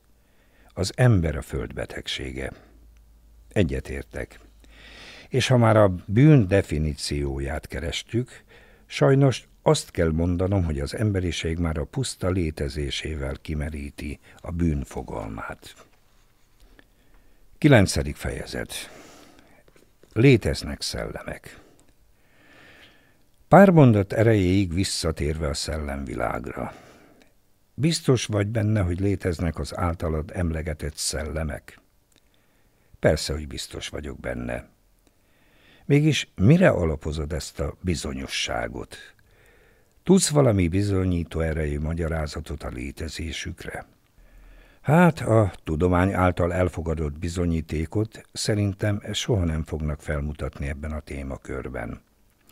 Viszont tömérdek beszámoló létezik szellemjárta épületekről, szellemidézésekről, megszállott személyek történeteiről, stb. Ami a legmeggyőzőbbnek tűnik, legalábbis számomra, az a klinikai halál állapotából visszatért emberek elbeszélése a tapasztalásaikról. Milliónyi ilyen tapasztalást dokumentáltak már világszerte. Miért tartod ezeket a beszámolókat olyan meggyőzőeknek? Nagyon sok cáfolat született már a tudomány részéről ezeket illetően. Pont a rengeteg cáfolatnak köszönhetően, amiket az orvosok, agykutatók, neurológusok és pszichiáterek szolgáltatnak minden egyes szárnyra kelt beszámolót követően. Oxigénhiány okozta hallucinációkat, és a vég pillanataiban felszabaduló kedélyjavító hormonokat emlegetnek, és azt, hogy ezeket a reakciókat azért hozta létre a természet, hogy eufórikus állapotban könnyebben vagy vidámabban viseljük a halált. Úgy gondolod, hogy ezek az orvosi magyarázatok nem állják meg a helyüket? Semmiképpen sem. És hogy bizonyítja ez a szellemek létezését? Úgy, hogyha már valaki a klinikai halál állapotába került, annak semmiféle eufóriával járó segítségre nincs szüksége ahhoz, hogy könnyebben viselje a halált. A klinikai halál állapotában megélt tapasztalások valódi testelhagyásos élmények. Vegyük először példának a műtéti altatást. Az valójában nem altatás, hanem ájultatás, viszont altatásként jobban hangzik. Nem emlékszel semmire, nincs közben semmilyen élményed, az egész olyan, mintha meg sem történt volna, csak úgy, mint egy utcai szimpla ájulásnál. Miután magadhoz térsz, arra sem emlékszel, hogy összeestél volna, de még az ájulást megelőző rosszul létből sem marad meg semmi. Ha valaki elmeséli az első percekben, még hitetlenkedve hallgatod, és még azt is nehéz elképzelned, hogy egyáltalán megtörtént. Az idő alatt egyszerűen nem létezett semmi. Se szenvedés, se eufória, semmi. A halál állapota, akár klinikai, akár agyhalál, sokkal mélyebb, mint egy szimpla ájulás. Akkor meg miért lenne szükségünk a pszichiáterek és a többiek által emlegetett kedélyjavító mechanizmusokra? Igazad van, semmiért. Szerinted miért nincsenek senkinek olyan élményei ájulás vagy mélyaltatás alatt, mint amikor meghalnak és visszahozzák őket? Ez azért van, mert ájulásnál nem haltál meg, csak kilettél ütve egy időre. A szellemed a testedben marad, így nem gazdagodott a testen kívüliség élményével. Viszont ha meghal a test, még ha csak egy rövid időre is, úgy már kénytelen a szellem kilépni belőle, majd amikor sikerül a reinkarnáció, akkor meg kénytelen visszalépni a testbe. És mivel nem egy következő élet érdekében teszi ezt, nem törlődnek az emlékei az adott rövid időszakról. Tehát nem az oxigén hiánya okozza? Nem hallucinációkról van szó? Egyáltalán nem. Nagyon sok küzdősportban alkalmaznak folytogatásokat, amelyekkel eszméletvesztést idéznek elő úgy, hogy elszorítják a nyaki artériákat. Vagyis oxigénhiányt okoznak. Az alany elájul, fellocsolják, és ahogy az előbb mondtam, fogalma sincs róla, hogy ájult volt. És semmiféle testelhagyásos vagy örömteli élménnyel nem rendelkezik, nem emlékszik semmilyen hallucinációra, csak néz, mint aki azt sem tudja, hogy melyik bolygón van. Így néz ki az oxigén hiány. Értem. Ez valóban meggyőző érvelés volt. Tizedik fejezet. Kik a jó és kik a rossz emberek. Tehát megbeszéltük, hogy a szellemvilág már pedig létezik, és hogy ki mennyire jó vagy rossz, azt az határozza meg, hogy éppen milyen fejlettségi szinten van a szelleme. Igen. De mégis hogyan írnád le, hogy ki minősül jó és ki rossz embernek? Lássuk csak. Inkább úgy írnám le a két ember típust, kissé profán módon, hogy kit nem nevezhetünk jó vagy rossz embernek.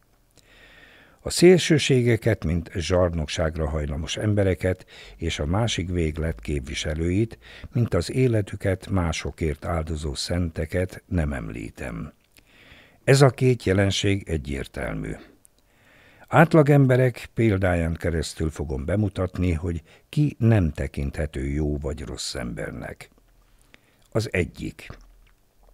Nagyon sokan vannak, akiket istenfélő embereknek hív a közvélemény. Rendszeresen járnak templomba, gyónnak, áldoznak, és könyörületért imádkoznak a mindenhatóhoz. Hetente legalább egyszer. Jó embereknek tartják őket, hiszen vallásos életet élnek. Aztán kijönnek a templomból, és hazafelé az úton teljes közönnyel szemlélik, hogy egy hajléktalan a kukából gyűjtögeti az ennivalót vagy a cigaretta csikkeket. Ha véletlenül odalép hozzájuk egy koldus némi apró pénz reményében, azt durván lehordják és kérdőre vonják, hogy miért nem dolgozik inkább. A legkisebb mértékben sem éreznek szánalmat irántuk, és még meg is jegyzik, hogy rajtam se segít senki, én miért tenném? Kár örömet éreznek, ha ismerőseik közül valakinek baja esik. Leszegényedik, csődbe megy, vagy egyszerűen csak nem sikerül neki valami. Kigúnyolnak, kinevetnek, lenéznek másokat, az iskolai végzettségük vagy egzisztenciájuk véget. Szóval ők azok, akik azt hiszik, hogy minden el van intézve részükről azzal, hogy ők vallásos, istenfélő emberek. Ami azt illeti, tényleg istenfélők, mivel csak is kizárólag azért nem követnek el nagyobb volumenű bűnöket, mert félnek Isten szankcióitól. Nem azért nem tesznek rossz dolgokat, mert nem lennének képesek rá, hanem csak azért, nehogy valamilyen büntetésben legyen részük. Na ők azok, akik biztosan nem nevezhetők jó embereknek. Természetesen ide sorolhatjuk azokat is, akik ugyan nem járnak templomba, nem hívők, de ők is tartanak valamitől, mondjuk a törvényektől. Így visszafogják magukat, és amúgy empátia kérdésben nem különböznek az imént leírtaktól. A másik.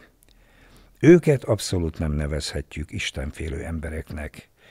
Köztük is sokan vannak, akik rendszeres templomlátogatók, de eszükbe sem jut félni Istentől. Fel sem merül bennük az isteni szankciók lehetősége. Egyikükben sem. Akár vallásos, akár nem. Az ilyen ember megy az utcán, és összeszorul a torka, ha kéregető gyereket lát. Dühöng a tehetetlenségtől, és ha máshogy nem is, egy kis pénzzel vagy ennivalóval próbál segíteni. Napokig a hatása alatt van, ha szerencsétlenséged vagy tragédiát lát a világban, és azon ábrándozik, bárcsak minden hatóvá válna, hogy megszüntethesse a szenvedést. Vadidegenekkel is mélyen együtt érez, és ugyanolyan erős szánalom érzés lesz urrá rajta egy autó által elgázolt kismacska, mint egy balesetet szenvedett ember láttán. Mikor hazaér, egy hosszú nap után és történetesen van egy sűrűn látott fa a lakása előtt vagy a háza udvarában, azt barátnak járó érintéssel üdvözli. Pedig korán sem biztos, hogy valaha is voltak vallásos kötődései. Na ő az, aki biztosan nem nevezhető rossz embernek. 11. fejezet Keresztelő Szent János Ha már ennyit filozofálgattunk a keresztény egyház részben mellett, de főleg Jézus mellett, egy kérdést még megvitathatnánk, amivel nem tudok mit kezdeni. Igen, hallgatlak. Keresztelő Jánosról van szó. Tudjuk, hogy Jézus 30 éves korában János által a Jordán folyó vizében megmerítkezve vette fel a keresztség szentségét, vagyis megkeresztelkedett. Igen, és? Nagyon nem világos számomra, miért nevezik keresztelésnek azt a szent rituálét, amiben annó Jézus részt vett. Hogy keresztelhetett meg János bárkit is, köztük Jézust, még Jézus életében. Benne van a nevében kereszt. A kereszt egy gyakran használt kínzó és kivégző eszköz volt az ókorban és a középkorban egyaránt. Nagyon sok országban egyébként még a mai napig is használják kivégzésekkor. Jézust is egy ilyen kereszten ölték meg a rómaiak, ami így vált később a keresztény egyház vallási jelképévé. Ahogy jelképpé vált, onnantól kezdve használják szimbolikusan a keresztet a kereszteléseknél is. Ezért nem értem, hogyan keresztelkedhetett Jézus, hiszen az ő halálával jött létre a kereszténység, és vált szimbólummá a kereszt. Nagyon jó a kérdés, viszont egyszerű a válasz. Azokban az időkben sok Istent imádtak az emberek, és bálványok előtt rendszeresen hajtottak végre rituális szertartásokat. Fel kellett venni az egyistenbe vetett hitet. Jézus és még nagyon sokan nem megkeresztelkedtek János által a Jordánban, hanem felvették az egyisten hitet. Abba az Istenbe vetett hitet, aki a fiát küldte a földre, hogy megváltsa az emberiség bűneit akinek a fia Jézus. Így ismerték el Jézus és a követői az atyához való teljes kötődésüket. Jánost a későbbi keresztény egyház nevezte el keresztelőnek, és az általa vezetett szertartást keresztelésnek. Logikus, de miért tettek így? Azért, hogy ezzel is azt próbálják a hívő tömegek tudat alattiába plántálni, hogy a kereszténység mindig is létezett, és hogy még véletlenül se kezdje senki firtatni, hogy létezhetett a Jézus előtti hamis istenek uralta istentelen világ. 12. fejezet Gondolati teremtő erő Elégedett sohajtással nyugtázta Sapiens, hogy sikerült megrágnia néhány fontosabb vallási kérdést épp úgy, mint egy csipetnyi részt a spiritualizmusból, miközben az emberi evolúciót is érintette.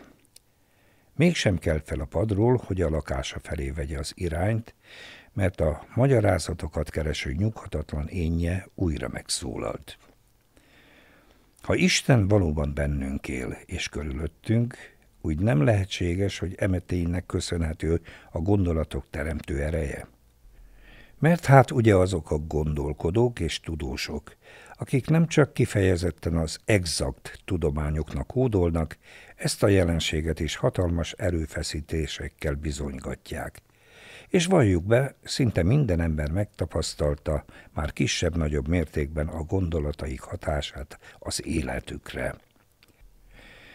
De nyugodtan mondhatom azt is, hogy a gondolataikban rejlő teremtő erőt. Tehát akár bizonyított, akár nem létezik. Bizony létezik. A kérdésedben benne van a válasz. Isten bennünk él és körülöttünk. Ott van mindenben, de még a történésekben is, és valóban emeténynek köszönhető a gondolataink teremtő ereje. De ha pontosabban akarom kifejezni magam, akkor azt kell mondanom, hogy nem a gondolatainknak van teremtő erejük, hanem az érzelmeinknek. Az érzelmeinknek? Nem értek egyet. A gondolatainkkal vonzzuk be a történéseket, és minden egyebet az életünkbe. Minden egyebet? Miféle minden egyebet? A jó és a rossz dolgokat. Szinte minden a pozitív vagy negatív gondolatok számlájára írható. A kedélyállapot minősége, a placebo hatás mechanizmusa, hogy sikeresek vagy alulmaradottak vagyunk az életben. Minden azon múlik, hogy miképp gondolkodunk a világról, és benne saját magunkról. Én nem így érzem. Vagyis nem teljesen így, hanem hogyan. Az, hogy a gondolati teremtő erőnek hívjuk ezt a nyilvánvaló jelenséget, csak egy profanizált elnevezés eredménye. Egy banális példa magyarán. Nem a gondolatainkkal teremtünk meg dolgokat, hanem az érzelmeinkkel, a vágyainkkal és a félelmeinkkel. Egy banális példa magyarázatával kezdem, aztán majd következik a többi. Tehát, ha leszeretnél venni egy könyvet a polcról, nem elég pusztán arra gondolnod, hogy megemelkedik a karod és leemeli a könyvet. Mert ha csak gondolsz rá, nem fog történni semmi. Akarnod kell, vágynod kell rá, hogy megemelkedjen a karod, és tegye, amit szeretnél. Ha így teszel, akkor működni fog a mechanizmus. Nem kell hozzá jártasnak lenned az anatómia élettamban, és nem kell tudnod, hogyan küld a központi idegrendszer, vagyis az agy és a gerincvelő a perifériás idegrendszeren keresztül elektromos impulzust a kar és az ujjak izomzatába, hogy végrehajtsa a feladatot. A legkisebb mértékben sem kell ismerned a tested működési elvét és folyamatait, egyszerűen csak vágynod kell a végeredményt. Mármint, hogy levegye a karod a könyvet a polcról, és a többit már a szervezeted intézi. Azt hiszem, értem. Azt akarod mondani, hogy ebben az egész könyvlevételes mutatványban az a bizonyos teremtő erő csak addig gondolati, még az elménk vágyat nem ébreszt a könyv után.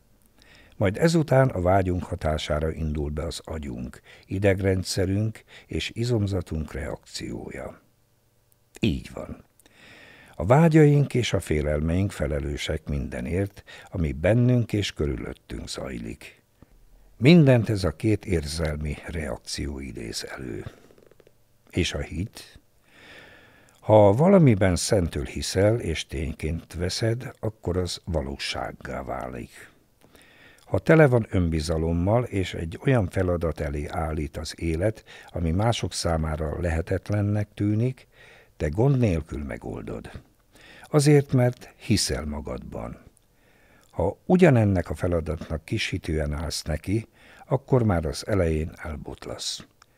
Az egésznek a sikeréhez nem kell más, mint az, hogy higgy magadban. Néha ehhez a hithez elég annyi, hogy valaki a szemedbe mondja, hogy képes vagy rá, és rögtön azzá válsz.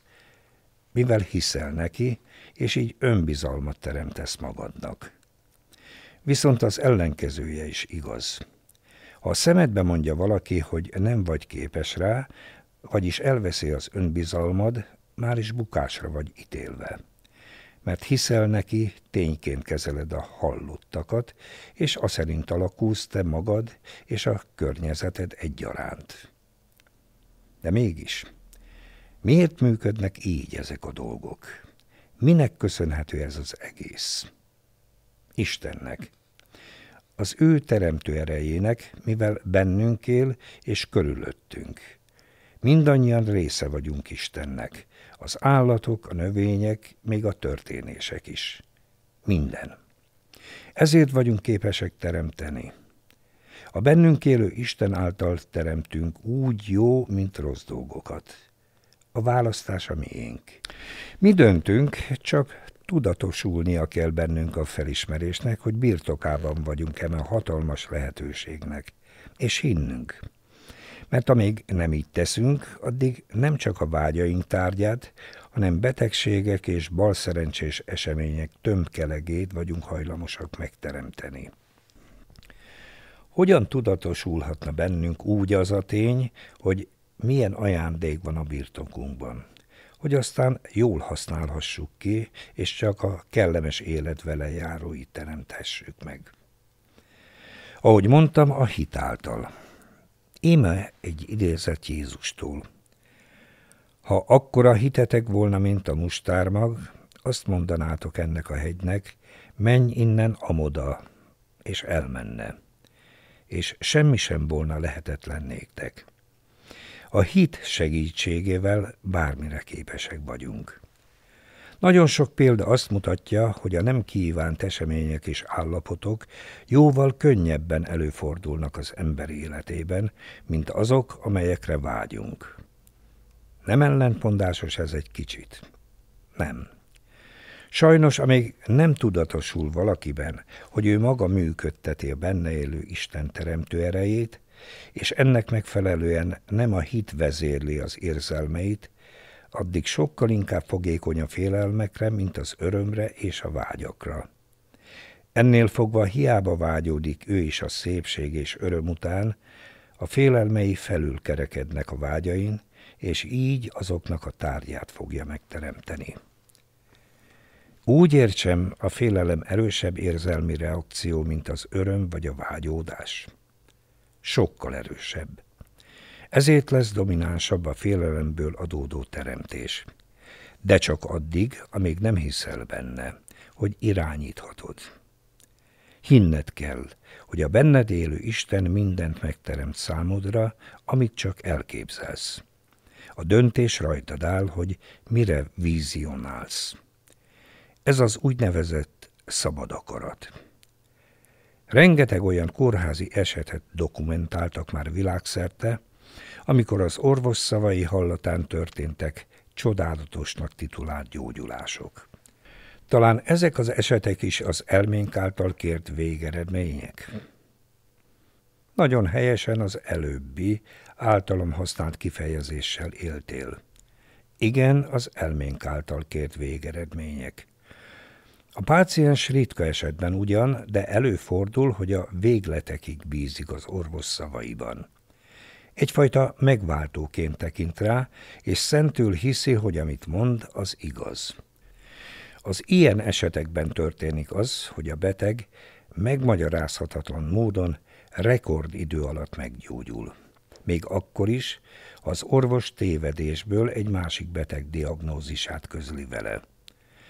A páciens elhiszi, amit hall, és az elméje által kért vagy elvárt végeredmény manifestálódik.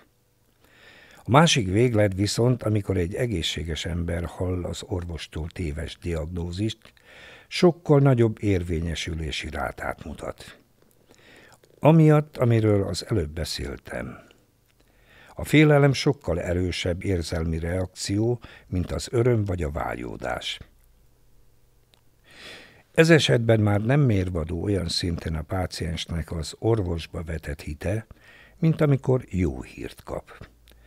Amint megkapja a lehangoló diagnózist, még akkor is, ha csak tévedésből egy másik betegét, azonnal megteremti magán a betegség tüneteit.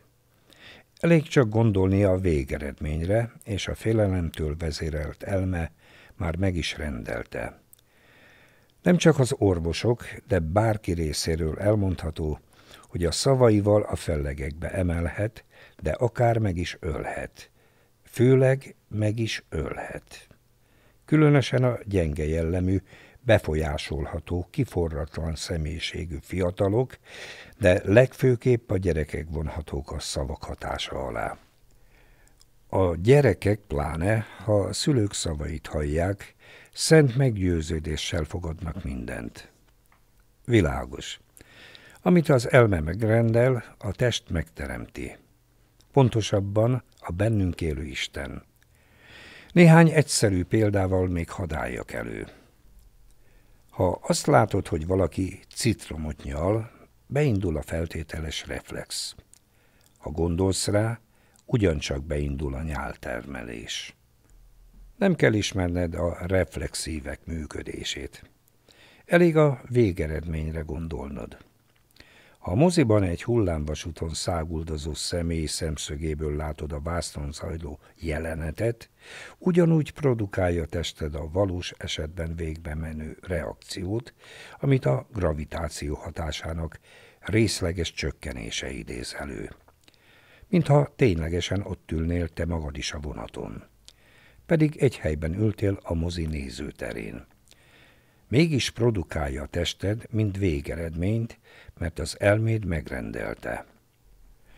Ha valaki rád néz, és megkérdezi, miért vagy sápadt, nagy valószínűséggel akkor is elsápadsz, ha valójában csak viccnek szánta az a valaki a kérdést.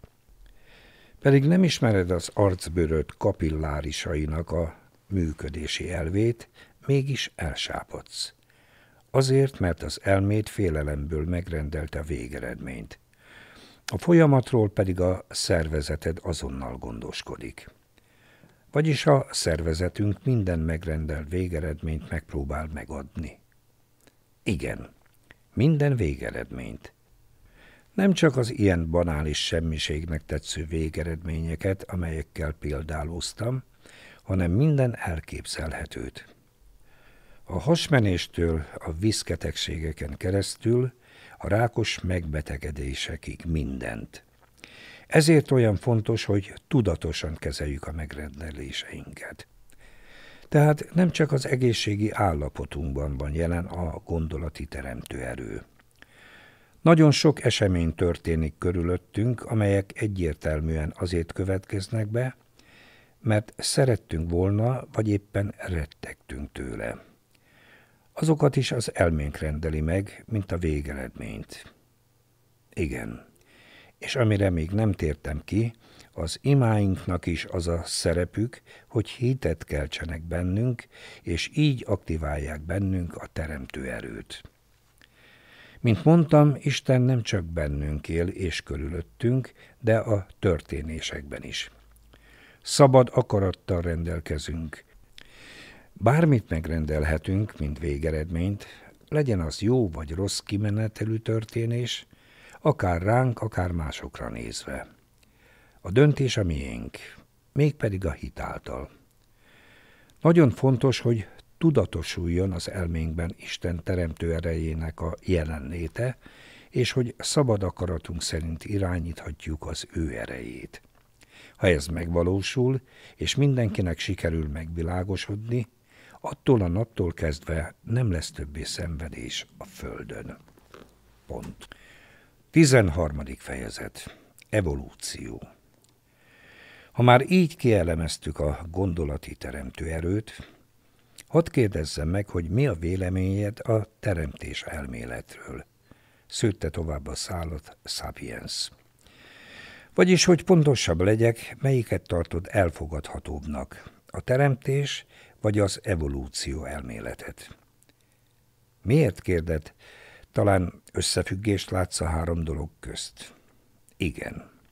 Mégpedig? Elmondom, kezdem az elején.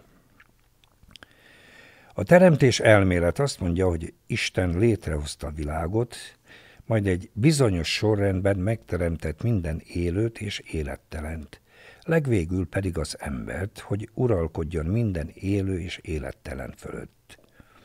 Ezzel szemben ott van az evolúció elmélet, ami viszont azt mondja, hogy a kezdetek kezdetén volt egy alapéletforma, ami szétszóródott az egész Földön, aztán az életkörülményeknek és a természetes kiválasztódásnak megfelelően alakult milliónyi új életformát és fajok számtalan változatát alkotva. Világos. De hol van az összefüggés és a gondolati teremtő erő? Mindjárt megérted. A teremtés elméletet nem kell boncolgatnunk. Meglehetősen egyszerű, átlátható, késztényeket közöl. Az evolúció elmélettel viszont már más a helyzet. Az a természetes kiválasztódást tartja valós magyarázatnak a jelenlegi bioszférára. Márpedig a természetes kiválasztódás egyszerűen nem működhetett. Ezt hogy érted? Ugyanis ez a feltevés azt mondja, hogy évmilliók alatt mutációk sorozatának eredményeként alakultak ki a fajok. És ez miért nem működhetett? Nagyon egyszerűen, érthetően fogom elmondani, hogy mire is gondolok. Darwin szerint egy kicsit lesarkítom a példálózást. Úszott a halak egy csoportja vízben. Mindegyik hal vak volt. Idővel véletlen mutációnak köszönhetően az egyik hal egyik ikrájából megszületett egy olyan hal, amelynek volt egy fényérzékeny sejt a bőrén, mondjuk a hátán. Valahogy úgy hozta a véletlen, hogy ennek a halnak az utódai már mind rendelkeztek egy-egy fényérzékeny sejtel a hátukon. Eltelt egy újabb időszak, és az egyik ilyen fényérzékeny sejtel rendelkező hal egy újabb szerencsés mutálódásnak köszönhetően már olyan ikrákat rakott le, amelyekből már látóideggel és a fény befogadására alkalmas optikai szervekkel, vagyis szemekkel jöttek világra, az újabb halak és ezek a szemek már nem a hátukon, hanem a fejükön voltak. Ezek a halak ugyan nem bántották a vakhalakat, ők mégis kipusztultak. Talán azért, mert a látóhalak elették előlük a táplálékot. De akkor minden más helyváltoztató életformának ki kellett volna pusztulnia, akiknek még nem adatott a szerencsés mutáció látószerveket. Vagy ott vannak a fogak. Mindegy, hogy vízi vagy szárazföldi életformáról beszélünk. Darwin szerint ugyancsak szerencsés véletlennek sorozata hozta létre őket. Egyszer csak született egy olyan élőlény, akinek nem csupán sérülékeny csontkinövések fejlődtek ki a szájában, hanem egy mutálódott gén fogzománccal, és beburkolta őket. Azóta minden egyes fogakkal rendelkező állat vagy ember zománcozott fogakkal él. A többiek viszont kipusztultak. Tehát, ha valahol megjelent egy apró mutáció, akkor az szépen elhatalmasodott az élő világban, kihalásra ítélve minden olyan egyedet, akik nem rendelkeztek a változással. Nagyjából ezt állította Darwin. Fantasmagória. Abszolút elfogadhatatlan és logikátlan. Miért tartott logikátlannak? Vegyük példának az embert. Gondolj csak bele – ha Darwinnak igaza lenne, akkor ma a Földön nem látnánk mást, mint csak szupermodelleket, zseniket és törpenövésűeket. Ugyanis sok más betegséggel vagy képességgel egyetemben ezek is génmutációknak köszönhetők. De nem csak ilyen egyedeket látunk, mert amint megjelent egy módosult gén, már nemzedéken belül el is mosódik. Értem. Darwin szerint nem mosódtak el, hanem minden egyes mutálódás továbbadódott és tökéletesedett. Így van. Így van. Így látta mi Darwinunk. És hogy látod te a fajok eredetének történetét? Mit állítasz szembe az evolúciós fantazmagóriával? Az evolúciót nem tartom fantazmagóriának, csak éppen abban a formában vagyok képtelen elfogadni, ahogy azt Darwin írta le. Egyébként meg vagyok róla győződve, hogy az evolúció folyamatosan zajlik a mai napig is. Rendben, kíváncsian hallgatlak. Az én meglátásom a következő. Az első, vagyis alapéletforma sejtszinten jött létre, illetve szóródott szét az egész bolygón. Csak úgy, mint magát a létezést, vagyis az univerzumot minden alkotó elemével együtt, az első sejtszintű életformát is a teremtő tudat hozta létre, amiről korábban beszéltünk. Tehát az a teremtő tudat, amit nevezhetünk Istennek, vagy akár léleknek. Hiszen, ahogy korábban mondtad, a lélek maga Isten, aki egyszerre ott van mindenben és mindenkiben, még a történésekben is, és akiből csak egy van. Nagyon jól emlékszel. Szóval ez a teremtő tudat. Miután megteremtette az alapéletformát a mi bolygónkon is, hagyta, hogy onnantól kezdve saját belátásuk szerint fejlődjenek és sokasodjanak ezek a sejtek. Ők aztán osztódni kezdtek, szervekké és egyre bonyolultabb szervezetekké alakultak, miközben a környezetüknek megfelelően a lehető legkülönfélébb alakzatokat és életformákat vették fel. Egyesek helyhez kötött módon, mint a növények, mások pedig helyváltoztató módon kezdtek élni, mint az állatvilág egyedei. De hát ezzel a gondolatmenettel az evolúció elméletet támasztod alá.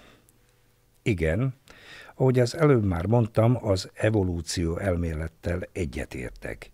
Csak éppen a természetes kiválasztódás tényét hazudtolom meg. Azzal nem értek egyet, azt tartom logikátlannak. Meg vagyok róla győződve, hogy az egyetfejlődésben is a gondolati teremtő erő játszotta a főszerepet.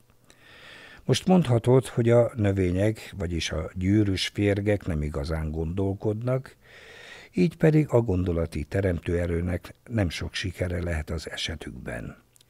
De én erre ugyancsak azzal a magyarázattal jövök, amit már párszor elmondtam.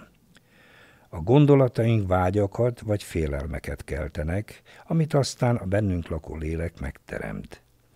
Megteremt, mivel a lélek maga Isten, a teremtő tudat. A választás a miénk.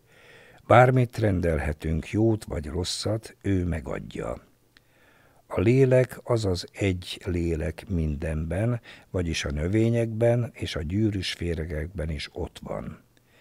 A növényeknek és a gyűrűs férgeknek nem kell gondolkodniuk, nem kell, hogy a gondolataik keltsenek vágyakat, egyszerűen csak vágyódnak az életre, a fényfelé törésre, a fajfenntartásra, stb és a bennük lakó lélek megteremti számukra, amit kérnek tőle. Vagyis Isten megadja nekik, amire szükségük van. Egyik életformának sincs szüksége, hogy tudatossággal rendelkezzen ahhoz, hogy teremtsen. A legnagyobb természetességgel teszik nap mint nap. Így fejlődik az élet ezen a bolygón is a kezdetek óta. Vegyünk példának néhány szembetűnő jelenséget. Ha kikel egy maga földben, honnan tudja, hogy a gravitációval ellentétes irányba fölfelé kell nőnie? Talán a melegebb réteg felé igyekszik, hiszen nincsenek érző idegei. Honnan tudja, hogy merre van melegebb? Ha már kikelt, minden esetben a fény felé hajlik. Honnan tudja, merre van a fény, ha nincsenek látóidegei? Sehonnan. Az ellentétes, vagyis a hűvösebb oldalon többlet hoznak létre a szárában élő sejtek. Így döntik a növényt a fény irányába. Nem a meleg hatására kéne, hogy jobban szaporodjanak a sejtjei? De, mégis a hűvös oldalon teszik, hogy így segítsék a növényt még több fényhez. Honnan tudja, hogy a zöld szín szükséges ahhoz, hogy a fény és víz segítségével cukrot szintetizáljon? Sehonnan. Egyszerűen csak az életben maradás tényét, mint végeredményt rendelte meg a benne élő lélektől. És ő megadta neki. Hogy hogy működik a dolog, milyen mechanizmus útján, az már nem érdekli. Milyen módon szaporodnak a növények? Az egyik olyan apró magokat terem, amelyeket könnyedén széthord a szél. Nincsenek légterelő szárnyaik, nem veszi őket körül izletes gyümölcshús, viszont nagyon aprók. Honnan tudja a növény, hogy az apró magvakhoz nincs szükség semmi extra segítségre, hiszen könnyedén elviszi őket a szél. A másik, mivel már jóval nagyobb magokról van szó, propellerhez hasonló légterelőt növeszt a magok köré. Így bocsátja útjukra őket. Honnan tudja, hogy egyébként csak lehullanának a fa alá? A harmadik ízletes és illatos gyümölcsúst van a magok köré, hogy az állatok bérrendszerének segítségével juttassa el őket minél messzebb. Honnan tudja, hogy a gyümölcsbe rejtett magoknak emészthetetleneknek kell lenniük, különben értelmét veszíteni az egész? Sehonnan. Egyszerűen csak ezt a módját választotta a szaporodásnak, és a benne lakó lélek, mint Isten, megadta számára a feltételeket. Az állatok honnan tudják, hogy melyik szervük vagy végtagjuk hogyan fejlődjön? Minden állat az őt érintő aktuális életkörülményekhez igazította szerveit és a végtagjait. Honnan tudja a kaméleon, hogyan váltogassa a színét? Honnan tudja a tigris, hogy milyen erős karmokkal és tépőfogakat növesszen? Honnan tudja a légy, milyen szemeket növesszen, hogy egyszerre mindent lásson maga körül? Honnan tudja a jegesmedve, hogy a fehér színnel tud leginkább beleolvadni a környezetébe? Sehonnan. Egyszerűen csak ahogy elképzelik magukat, amilyen vágyuk van a létezésüket illetően, azt teremti meg, azt adja meg számukra a lélek. Ha megvágjuk az ujjunkat, honnan tudják a sejtek, hogyan kapcsolódjanak össze, hogy begyógyuljon a sérülés? Honnan tudja az ember, hogy minél napsütöttebb területen él, annál több pigmentsejtre van szüksége a túléléshez? Honnan tudja, hogy a melegebb éghajlaton szélesebb, nagyobb orjukakon kell vennie a levegőt, mivel az jóval ritkább, mint a hűvösebb tájokon? Sehonnan. Egyszerűen csak elkezd természetesnek venni még nem létező testi adottságokat, amiket így aztán létezővé tesz a benne élő lélek által. És amiket talán a lehető legtermészetesebbnek veszünk, és eszünkbe sem jut töprengeni rajtuk, hogy honnan tudta már a kezdetek kezdetén a testünk, hogy szőrre van szüksége ahhoz, hogy megóvja a bőrünket, és hogy bőrre van szüksége ahhoz, hogy megóvja az izmainkat és az ereinket, Izmokra, hogy mozgathassa a csontjainkat, csontokra, hogy hatékonyabban tudjon mozogni, és sporcokra, hogy a csontok kapcsolódhassanak egymáshoz. És az erek, idegrendszer, immunrendszer, stb. Darwin szerint minden csak véletlenszerű mutálódásoknak, a nagyszámok törvényének és annak köszönhető, hogy az életképesebb fennmarad, a kevésbé életképes pedig elpusztul. Képtelen vagyok elfogadni, viszont amit elmondtam, hát ez az evolúció, nem pedig a természetes kiválasztódás. A bennünk élő lélek, vagyis Isten ad meg mindent, amire szükségünk van, amire vágyunk, vagy amitől félünk. Így teremtünk meg mindent, mi magunk, és így változik, fejlődik, alkalmazkodik folyamatosan minden életforma. Azt hiszem, most már érted, hogy fésülhetem össze a teremtés elméletet az evolúcióval és a gondolati teremtő erővel.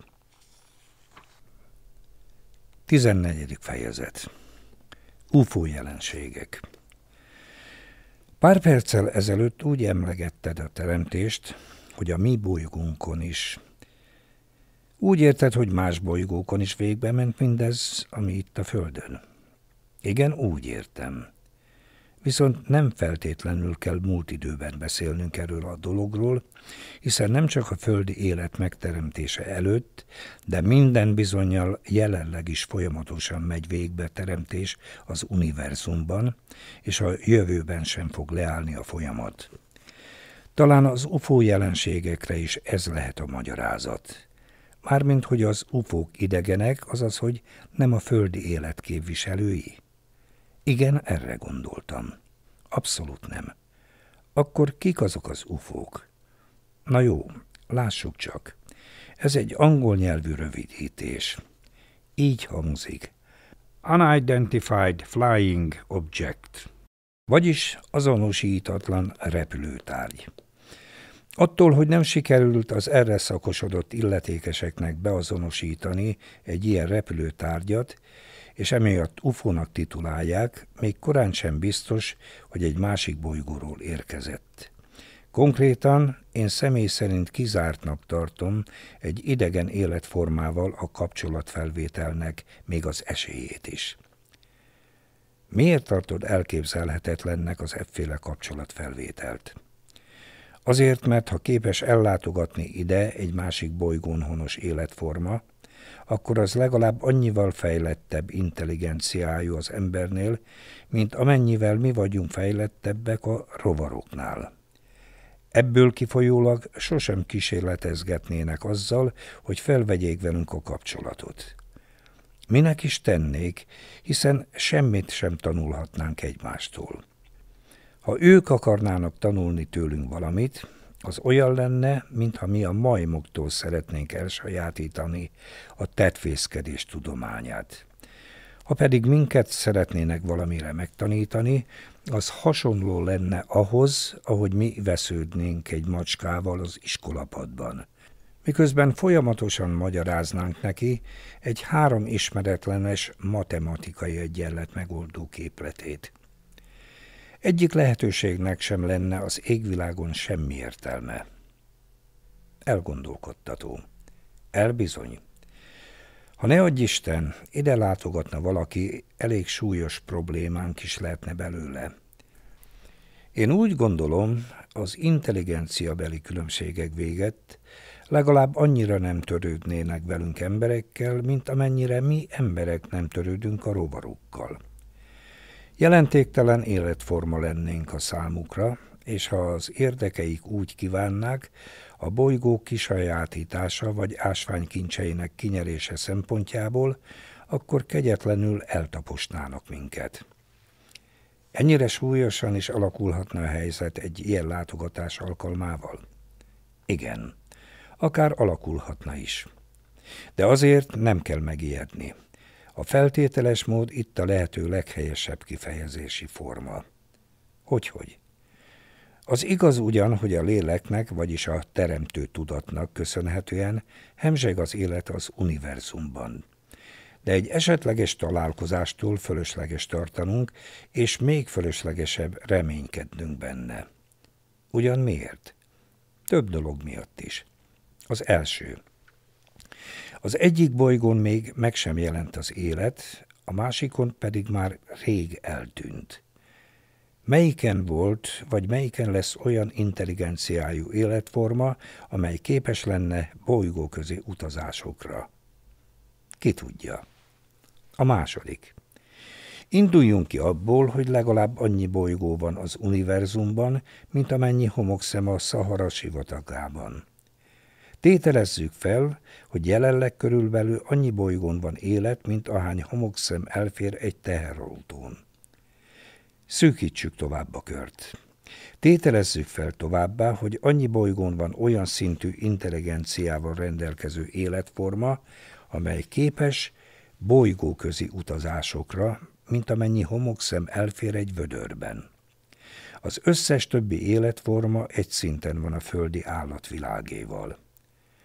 Na most szórjuk szét ezt a vödörhomokot a sivatagban, lehetőleg apránként egy repülőgépből, majd dobjuk ki azt az egy szemhomokot is, ami a mi bolygónkat jelképezi.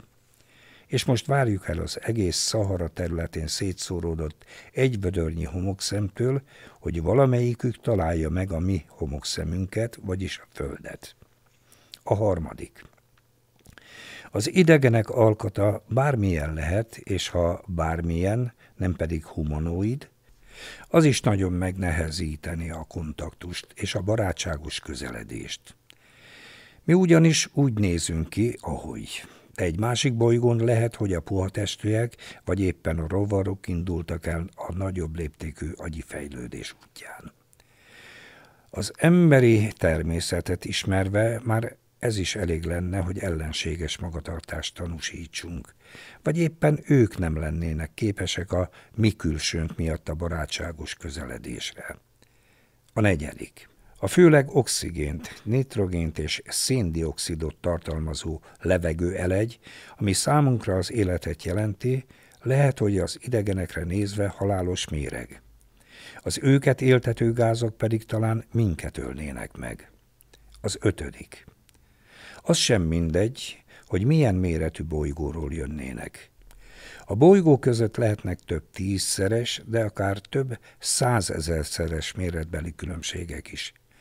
Jöhetnek jóval kisebb méretű és jóval kisebb gravitációjú és jóval kisebb légsűrűségű bolygóról is, jóval kisebb testméretekkel, jóval gyengébb alkattal. Ha így történne, akkor a mi gravitációnk és légnyomásunk összeroppantaná őket, és lehet, hogy meg sem találnánk őket, mert így valószínűleg még a hajójuk sem lenne nagyobb egy földi gyufás katujánál. Viszont jöhetnek a Földnél százezerszer nagyobb bolygóról is. Jóval nagyobb gravitációval bíró felszínről, úgy pedig hasonló lenne a földre lépésük ahhoz a bizonyos jelenséghez, amit csak úgy emlegetünk, hogy elefánt a porcelánboltban. A hatodik. Az élet diverzitására való tekintettel lehet egy ide látogató életforma akár olyan is, amilyet mi emberek egyszerűen csak szellemi létnek nevezünk. Meg kell hagyni, alaposan leszűkítetted a lehetőségek körét. Igen, valóban. De akkor mégis kik azok az ufók? Mert számtalan ufó észlelése történik világszerte, nap mint nap. Igaz, számtalan esetben fényképeznek, videóznak, jelentenek UFO jelenségeket, viszont nem idegenekkel kapcsolatosakat, hanem ezek mind-mind földi eredetű jelenségek, csak éppen nem a jelenünkből, akikről az UFO jelenések, fényképek és videók szólnak, mint jövőbeli földi küldöttek. Időutazók. Ma még nem ismerjük az időutazás mikéntjét, de lehet, hogy 300, 500 vagy ezer év múlva rájövünk, hogy működik a dolog. Pontosítom magam. Nem úgy fogalmazok, hogy lehet, hanem úgy, hogy biztosan rájövünk az időutazás titkára. Lesz majd egy projekt, miszerint tudományos expedíciók tömkelegét fogják visszaküldeni az időben, minden egyes korszakba egészen a Föld születéséig visszamenőleg. Ez egy rövid időszak lesz, mondjuk egy-két év, aztán a magas kockázat miatt nem folytatják, hiszen ezzel fennáll az esélye, hogy megváltoztassák a jelenünket. A másik kockázat csökkentő intézkedés az lesz, hogy nem emberek fognak útnak indulni, hanem humanoid, mesterséges helyetteseik. Az ember ugyanis gyarló, bármikor gondolhat egyet, és egészen máshogy viselkedik, mint ahogy az helyén való lenne. Ezért küldik a helyetteseket, akiket génmanipulációval hoznak majd létre külön erre a célra, és akiknél fel sem merülhet, hogy bármiféle engedetlenséget tanúsítanának. Ők kizárólag csak a megfigyeléssel járó feladatokkal foglalkoznak, és mivel telepatikusan kommunikálnak egymással, így még annak a veszélyesen merülhet fel, hogy valamelyik korban kifaggassák őket, ha véletlenül balesetet szenvednének. Persze, ha életben maradnának a baleset folytán, mint ahogy már történt is pár alkalommal. Ők azok a bizonyos kis szürkék. Így van. Ők azok. 15. fejezet Idő Tehát te úgy gondolod, hogy a nem túl távoli jövőben megvalósítható lesz az időutazás. Legalábbis a kis szürkékkel kapcsolatos okfejtésed ezt mutatja. Igen, úgy gondolom. Miből gondolod, hogy vissza lehetne menni az időben? Az idő nem egy film, amit csak úgy visszapörgethetünk. Ami elmúlt, az már ugyanúgy nem létezik, mint az, ami még meg sem történt. A különbség csupán annyi, hogy a még meg sem történt dolgokat kedvünk szerint alakíthatjuk, az elmúltakon viszont már nem tudunk változtatni. Ha csak nem tudunk kedvünk szerint ugrálni az időben. Mégis, hogy ugrálhatnánk az időben előre-hátra? Egyelőre rejtély, de megtaláljuk a módját. Ha megengeded, elmondom, mit gondolok én erről a dologról. Hallgatlak. Az idő nem más, mint puszta illúzió. Nem létezik. Amit időnek nevezünk, az a térben a zajló változások sebessége. Csupán nézőpont kérdése, hogy mennyire múlik gyorsan vagy lassan. Lássuk a legegyszerűbb példákat. A házi légy a maga két-három hetes életkorát ugyanolyan hosszúnak éli meg, mint az ember a maga hetven évét. A mozgásunkat meg úgy látja, mint ahogy mi egy lassított filmfelvételt. Annyira lassúnak lát minket, hogy szó szerint unatkozni kezd, mire a légycsapóval elérhetnénk. A sugaras teknősök viszont semmivel sem érzékelik hosszabbnak a 150 éves életkorukat, mint mi emberek a 40-50 évet. A mozgásunkat pedig úgy látjuk, mint ahogy mi a fürgegyíkokét. A legszembetűnőbb bizonyítékot viszont mindenki számtalanszor megtapasztalja élete során, mégpedig alvás közben, mi alatt álmodik. Főleg azon alkalmakkor, amikor reggelente percekre visszaalszik. Megnézi az óráját, álomba merül, átél egy negyed vagy félórás történést, felébred, és meglepődve látja, hogy mindössze egy vagy két perc telt el a korábbi órára tekintés óta.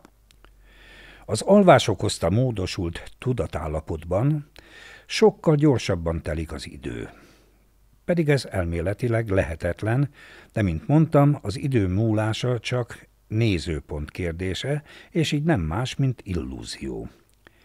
Ezekből a jelentéktelennek tűnő példákból kiindulva szélesíthetjük a kört a végtelenségig. Mondhatjuk akár úgy is, hogy ami az egyiknek egy pillanat, az a másiknak egy örökké valóság, és vice versa. Haladhatunk úgy is a végtelenségig, hogy az örökkévalóság egyetlen pillanatba sűrítése után az onnan számított örökkévalóságot sűrítjük egy pillanatba, és így tovább, még bele nem ununk. De csinálhatjuk ugyanezt a másik irányba is, hogy a pillanatot tekintjük örökkévalóságnak, és onnan kiindulva veszünk egy újabb pillanatot. Határ nem szabható a folyamatnak, a végtelenségig folytatható mindkét irányba egyaránt.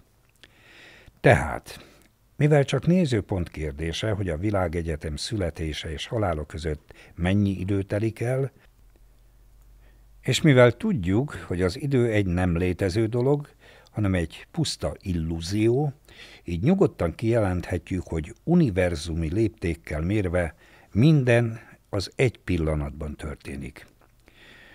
Az egész általunk ismert univerzum, de a nem ismert is. Minden, ami valaha létezett és létezni fog. Minden az egy pillanat terméke. Az időutazás pedig akkor lesz lehetséges, ha rájövünk, hogy ebben az egy pillanatban hogyan jelöljünk ki különböző pontokat, hogy aztán tetszés szerint manifestálódhassunk bennük. Azért ez nagyon veszélyes, mármint az időutazás. Miért lenne veszélyes? Szinte biztos, hogy a legnagyobb óvintézkedések ellenére is minden alkalommal előidéződik a pillangó effektus, és megváltozik a jövő. A kockázatot vállalni fogjuk. Viszont nem tudhatjuk, hogy mikor jár kockázattal, illetve mikor áldással egy pillangó effektus. Ahogy árthatunk a jövőnek, úgy segíthetjük és jobbá is tehetjük. Nem tudhatjuk előre. Vajon változott már az események folyama pillangó effektusoknak köszönhetően? Ez megint csak egy olyan kérdés, amit nem tudhatunk meg soha, akkor sem, ha millió szám történt már ilyen változás.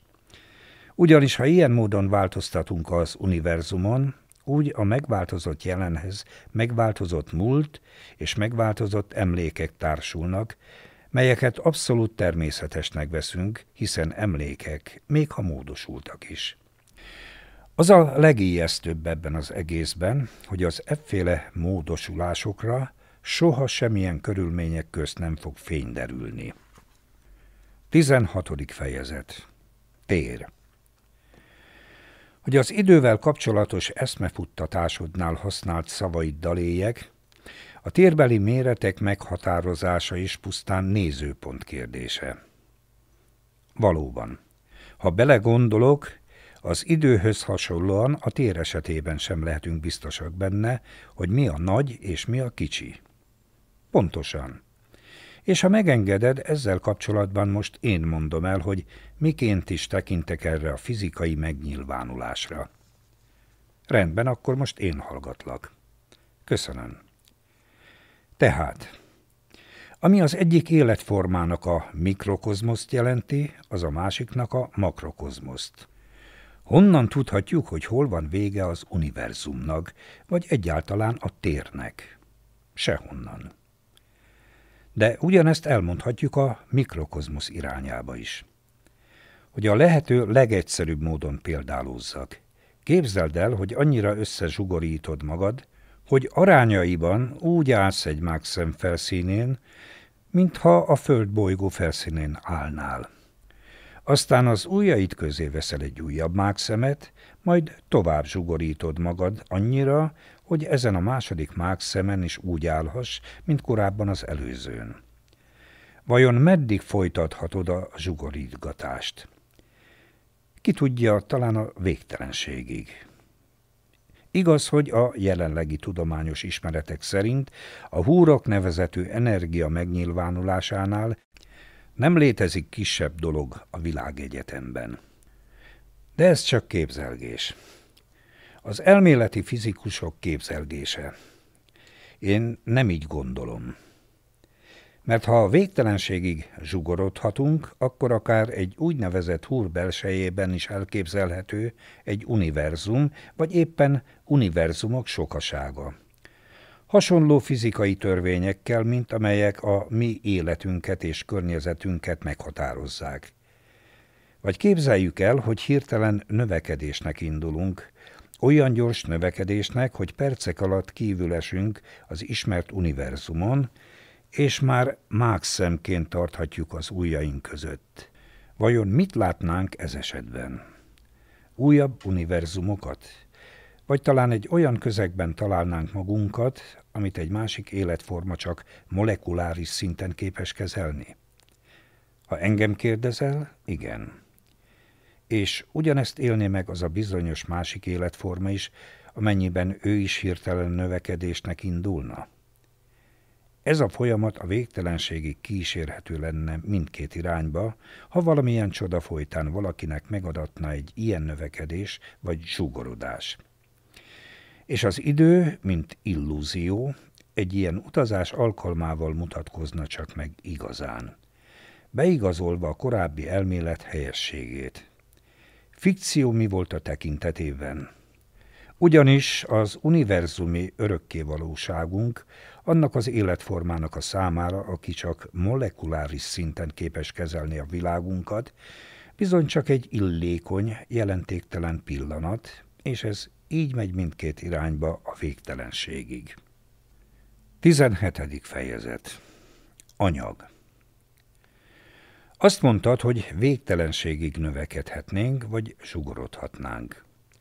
Ha ez így van, akkor a növekedéssel végtelen mennyiségű anyaggal találkozhatnánk, míg a zsugorodással egy bizonyos szint után megszűnne az anyag létezni? Vagy nem így gondolod? Nem. Az anyag ugyanis csak úgy, mint az idő, illúzió. Nem létezik. Amit a buddhizmus évezredek óta hirdet, néhány évtizede a tudománynak is sikerült felfedeznie, vagy legalábbis kielmélkednie. A buddhizmus a megalakulása kezdetétől határozottan állítja, hogy az anyag nem létezik. Nem más, mint besűrűsödött energia, ami a semmiből jött létre. Most lássuk, mit mond a tudomány. A semmiből létrejöttek a rezgő energiahúrok, amelyek részecskékké álltak össze. A részecskék atomokká, az atomok elemekké, az elemek pedig anyaggá. Az atomok esetében már beszélhetünk méretarányokról, ami nagyjából a következőt mutatja. Ha akkora egy atom, mint egy családi ház, akkor az atommag nem nagyobb egy porszemnél. Az elektron pedig, ami az atommag körül cikázik, megközelítőleg 1500 része az atommagnak. Vagyis egy házméretű atomban még az atommag porszemméretű, az elektron még mikroszkóppal is nehezen mutatható ki. Egyszerűen fogalmazva, minden egyes atom légnemű. Az, hogy képesek vagyunk megfogni tárgyakat, és hogy nem esünk át a szék ülőkéjén. Az atommag körül cikázó elektronoknak köszönhető.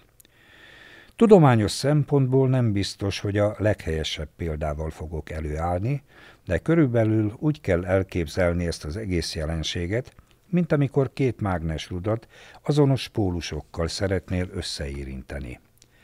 Meglehetősen nehéz feladat, de gyönyörűen demonstrálja az anyagtalan anyag működését.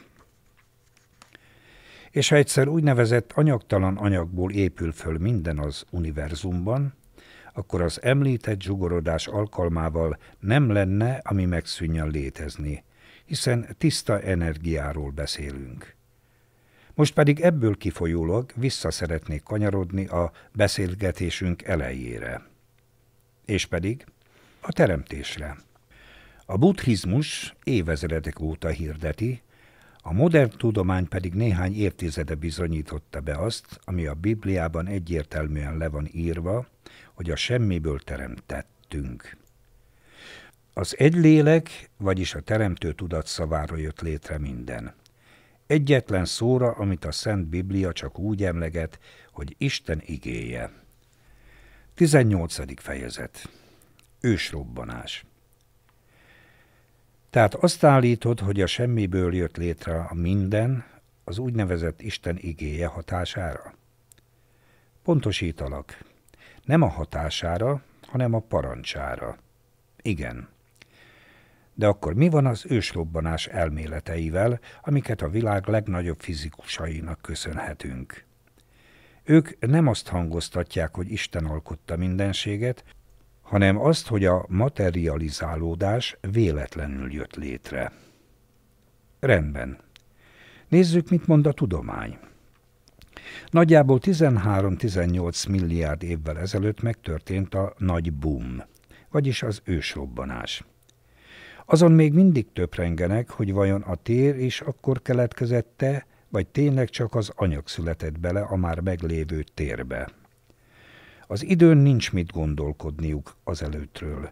Mivel, mint már megbeszéltük, az idő csak a térben zajló változások sebessége. Persze, ha úgy okoskodnák ki a tudósok, vagyis arra a következtetésre jutnának egyszer, hogy a tér is az ősrobbanás pillanatában keletkezett, akkor újabb évszázadokra feladnák maguknak a leckét, hogy kitalálhassák, mi lehetett addig a tér helyén de egyelőre csak megy köztük az egymás szavába vágás ezzel kapcsolatban. És nagyon sokáig nem is fognak ennek a kérdésnek a végére pontot tenni. Na szóval, Magyarázzák a mindenség keletkezését a legelképesztőbb teóriákkal, mint például a végtelen, sok kétdimenziós, amolyan lapos univerzum által kitöltött óceánban véletlenül két ilyen hullámzó univerzum összeért vagy összeütközött, és így jött létre az ősrobbanás. Aztán azzal, hogy egyetlen mikroszkópikus pontba volt koncentrálódva végtelen sűrűségű energia formájában, az univerzum összes anyaga, és egyszer csak szétrobbant. Ezzel kapcsolatban azt is állítják, hogy a már meglévő térben történt mindez, de azt is, hogy a tér is csak akkor keletkezett, amikor ez az egyetlen pontba sűrösödött energia hirtelen szétrepült a végtelenbe, és én személy szerint úgy gondolom, hogy akár megvolt már az ősrobbanás pillanatában a tér, akár nem, semmiképpen sem jöhetett létre ez az egész, pusztán a véletlennek köszönhetően. Mert ha így történt volna, vagyis csak a véletlennek lenne köszönhető minden, akkor az elmúlt 13-18 milliárd évben még nagyon sokszor történt volna ilyen ősrobbanás. Igazad van. Elgondolkodtató, hogy miért nem tudunk több ilyen materializálódásról, hiszen az ismert univerzum felfoghatatlanul nagy. Elképesztő méretű kitöltetlen térrel mégsem tudunk benne semmi hasonló esetről azóta sem. Pedig ha történt volna egy olyan ilyen születés, annak eléggé nyilvánvaló jelei lennének még azok számára is, akiknek semmi közük a csillagászathoz. Helyesen látod, elég nyilvánvaló lenne. Nem történt. Vajon miért nem robban bele azóta sem egyetlen új univerzum se a világegyetemünkbe, se a világegyetemünk szomszédságába? Vagy akár a hold és a föld közé? Vagy az íróasztalunk fiókjába, vagy éppen az autó gumiabroncsába? Sejtem, mit akarsz mondani.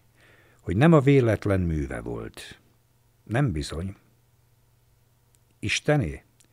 Ha visszagondolsz, korábban beszéltünk a gondolati teremtő erőről, mint a lélek akaratának eszközéről. A lélek, az egy lélek mindenhol jelen van, és mindig is jelen volt. Az ő akaratából, az ő parancsára, az ő igéjére született az univerzum.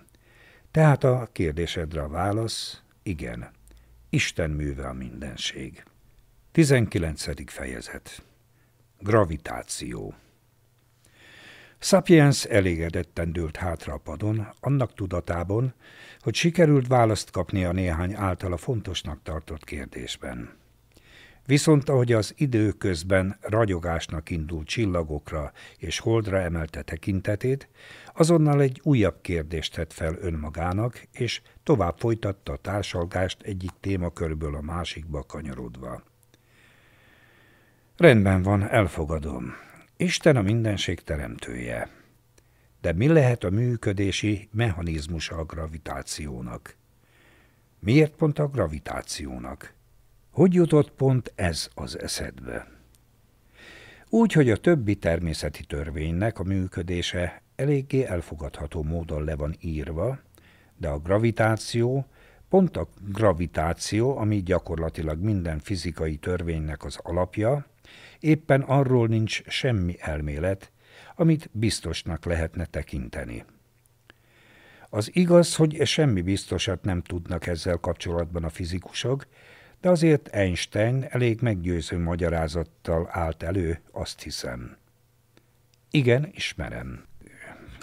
Szerinte a tömeg a méretének és a sűrűségének függvényében görbíti meg maga körül a teret, és ennek a bizonyos görbületnek a hatása idézi elő a tömegvonzást. Egy vízszintesen kifeszített gumilepedővel még illusztrálták is a jelenséget. Különböző méretű és súlyú golyókat helyeztek rá, és így demonstrálták, hogyan húzzák magukhoz a nagyobb golyók a kisebbeket. Meggyőző, de csak egy gyengébb képességű vagy egy alsó tagozatos gyerek számára. Ezek szerint te nem értesz egyet ezzel az elmélettel? Nem teljes mértékben. Hallgatlak, mi az, amit nem fogadsz el belőle? Odáig rendben van a dolog, hogy a tömeg módosítja maga körül a teret. De nem úgy, ahogy ezt Einstein írta le. Szerintem egészen máshogy néz ki ez a jelenség. Én úgy gondolom, hogy a teret egyfajta módon sűríteni lehet. A tér nem görbül, hanem az anyag, vagyis a tömeg körül sűrűbb lesz. Ez a sűrűsödés annak köszönhető, hogy a tér ellentétben a folyadékkal vagy a gázokkal nem képes áramlani. A tömeg a méretének és a sűrűségének megfelelően kiszorítja, így körülötte sűrűbb lesz, és ahogy távolodunk tőle, úgy ritkul vissza normál állapotra. A tömegvonzás megnyilvánulása pedig úgy történik, hogyha egy anyaghalmaz belekerül egy másik anyaghalmaz által előidézett sűrűbb térközegbe, akkor a gyengébb térsűrűséggel rendelkező anyaghalmaz elindul az erősebb, nagyobb térsűrűséggel rendelkező anyaghalmaz gravitációs epicentruma felé. Hogy leegyszerűsítsem az elméletem, minél sűrűbb egy bizonyos területen a térközeg, annál gyorsabban elmerül benne a tömeg. Szó szerint meglódul a sűrűbb tér irányába. A ritka normál állapotú térközeg a sűrűbb térközeg felé taszítja a tömeget. Épp ellenkezőleg. Mint például, ahogy azt a víz teszi az édes és sós víz ellensúlya esetében. Ez az ellentmondásos viselkedés a tér esetében az anyagtalanság számlájára írható. Az anyagi és az anyagtalan világban ugyanis nem lehet semmi, ami közös, még a természeti törvények közül sem. Hm. Ez az eszmefuttatás valóban meggyőzőbb, mint Einstein térgörbülettel magyarázó teóriája. Minden esetre logikusabb. 20. fejezet A hold A gravitációról szóló eszmefuttatásodról jut eszembe, hogy a hold tömegvonzása nélkül igencsak zord bolygó lenne a Föld. Uh-huh, igen. Ezen még nem gondolkodtam, mivel teljesen egyértelmű. Pontosan ez az, ami olyan gyanussá teszi a létezését, hogy ennyire egyértelmű. Mit találsz olyan gyanusnak a hold létezésében? Látom, nem akaródzik kapcsolni. Na jó, akkor elkezdem. Szóval itt van ez a hold, aminek a neve egyszerűen csak hold. Túlságosan nagy a Földhöz képest. Mondhatni, sokkal nagyobb annál, hogy csak egy szimpla holdként emlegessük. Erre vonatkozóan többfajta teória is napvilágot látott az elmúlt néhány évtizedben, mint például, hogy egyszerre keletkezett a Földdel az űrben keringő törmelékekből. Ez már csak azért is gyanús, mert úgy össze kellett volna olvadni a bolygónkkal, hiszen a kezdetek kezdetén szinte elenyésző volt közöttük a távolság. Egyébként a mai napon is távolodik a Földtől. A másik elmélet a keletkezésére, hogy egy ősi Mars méretű bolygóval ütközött a Föld, kb. három és fél milliárd évvel ezelőtt, és a földből kivágódó olvat kőzet állt össze szépen lassan egy holddá.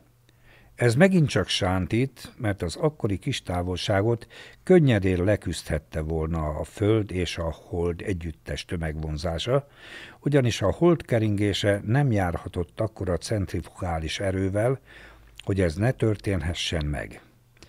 Valamilyen csoda folytán mégsem történt meg de a leggyanúsabb, legelgondolkodtatóbb dolgok a hold körül a következők. Az első. Ha a hold közelebb lenne, brutális apálydagály váltakozások történnének, naponta kétszer özönvízszerű katasztrófák pusztítanák a környezetet és a városokat. Az időjárás teljes káoszba torkolna, élhetetlenné téve a földet. A második. Ha hold távolabb lenne, az apálydagály jelenségek lecsökkennének, vagy akár el is tűnnének, ugyancsak kaotikus időjárást előidézve, az óceánok vízmozgásának megváltoztatásával. A harmadik. Ha a hold nem lenne, akkor közelebb lenne, akár távolabb lenne, akár nem lenne, problémák tömkelegével kerülnénk szembe. De ha tényleg nem lenne, úgy szárazföldi élet sem lenne a Földön. A hold tartja egyensúlyban a Föld tengelyét, hogy ne imbolyogjon. Azon kívül folyamatosan féken tartja, különben legalább négyszer gyorsabban forogna, vagyis legfeljebb három órás nappalok és három órás éjszakák lennének. Ennek következtében nagyon erős Coriolis hatások lennének az egész bolygón. Csak is végletes időjárást előidézve. Kozvan, igen. Körülmények váltogatnák egymást az idők végezetéig. És mint mondtam, csak a vizekben lenne élet. A szárazföld teljes mértékben élhetetlenné válna. A negyedik. A hold mindig ugyanazt az arcát mutatja, vagyis tökéletesen megegyezik a forgási ideje a keringési idejével. A tudomány ezt azzal magyarázza, hogy a belső surlódási energiája hangolta így össze a két tényezőt. Elég gyatra magyarázat, és nincs is más tudományos elmélet erre vonatkozóan. Nagyon gyanús, hogy produkálhat a véletlen ekkora egybesést. A hold 27 nap keringési ideje tökéletesen mikroszekundumra, de nem is kell mértékegységeket emlegetnünk, megegyezik a forgási idejével. Egyetlen pillanat töredékkel sem tér el tőle. Még a földi atomóra sem ennyire pontos. Szó szerint évmilliárdok alatt sem tért el egymástól a két érték, még annyira sem, hogy egy pillanat töredék eltérést mutasson. Az ötödik. Tele van meteorit és üstökös ütöttek kráterekkel. Még egy amatőr távcsővel is tisztán látszik, hogy a kráterek szélességüktől függetlenül szinte mind közel azonos mélységűek. Ha egyszer a Földből szakad ki a hold anyaga, mint ahogy a tudomány állítja, és földazonos, de legalábbis hasonló kőzet alkotja, akkor miért nem változatos a kráterek mélysége? Azt hiszem kezdem érteni. Csak nem a mesterséges mi voltára célzol, de igen. Az ismeretek fényében minden okon megvan rá, főleg ha számításba vesszük a következőt is. Itt van a Föld elegendő vízzel, és a naptól éppen megfelelő távolságra, hogy élet legyen rajta. Ez egy felfoghatatlanul ritka lehetőség az univerzumban. Viszont volt vele két probléma, mégpedig a túlságosan gyors forgása és imbolygó tengelye. Nem találott furcsának, hogy egyszer csak megjelenik a közelében egy aránytalanul nagy hold, és a majdnem tökéletes feltételeket hirtelen tökéletessé varázsolja? Ráadásul ennek a holdnak a keringés és forgási ideje tökéletesen megegyezik, és hiába állítják róla a tudósok, hogy föld, azonos kőzet alkotja, mégis úgy viselkedik a felszíne, mintha áttörhetetlen volna a becsapódások számára. Valóban ez igencsak gyanús. De mire akarsz kiukadni?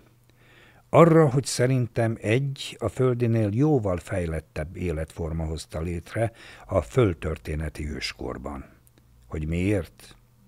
Ki tudja. Talán csak sajnálták volna, ha egy ilyen feltételekkel rendelkező bolygó, mint a Föld elkallódna. Vagy hosszú távú befektetésnek szánták arra az esetre, ha valami miatt lakóbolygót kéne váltaniuk. Nem tudhatjuk, de egy biztos, ennyi és ilyen jelentőséggel bíró véletlen nem lehet a véletlen műve. 21. fejezet Asztrológia A holdról jut eszembe. Azért van az emberiség bizonyos rétegeinek néhány sajátos rögeszméje, mint például, mint például az asztrológia. Hát igen, az agy fejlődéséhez, a gondolkodáshoz és a természeti dolgok megfigyeléséhez idővel jöttek efféle furcsaságok. Mégis hogy jöhetett létre konkrétan az asztrológia tudománya? Már ha nevezhetjük tudománynak ezt a dolgot. Hallgatlak. Biztosan van rá valami teóriát, különben nem hoztad volna szóba. Így van. Lássuk, mit mond az ezzel foglalkozó szakirodalom. Az asztrológia legismertebb része az évet 12 részre osztó csillagjegyek együttese, amelyek egymást követve határozzák meg a hozzájuk sorolt évszakaszok mienségét, de még a születésekhez is hozzájárulnak. 12 különböző személyiség jellemzővel, mint horoszkópok. Aztán ezek a horoszkópok minden egyes ember hétköznapjait befolyásolják. Minden horoszkóp minden emberre hat, annak megfelelően, hogy ki milyen csillagkép alatt született. Na most, ha engem kérdezel, szerintem ez az egész csak fantazmagória. Miért gondolod, hogy fantazmagória lenne? Az egész csak az ókori táltosok, sámánok, meg ilyen-olyan varázslók agyszüleménye. Valamivel elő kellett állniuk az uraik felé. Muszáj volt valamivel magyarázniuk a szerencsés vagy éppen szerencsétlen eseményeket, ha nem akarták, hogy kínhalál áldozataivá váljanak. Ezért szépen tizenkét részre osztották az évet, mind a tizenkét szakasz éjszakai égboltjába beleláttak egy-egy domináns csillagképet, és ezek a csillagképek köré szőtték a legkülönfélébb magyarázataikat. Hogy az asztrológiának pontosan ez a fajtája, honnan és melyik néptől maradt fenn, ne kérdezd, nem tudom. De azon kívül, hogy egyesek a mai napig képesek elütni vele a szabad perceiket, igazából semmire nem való.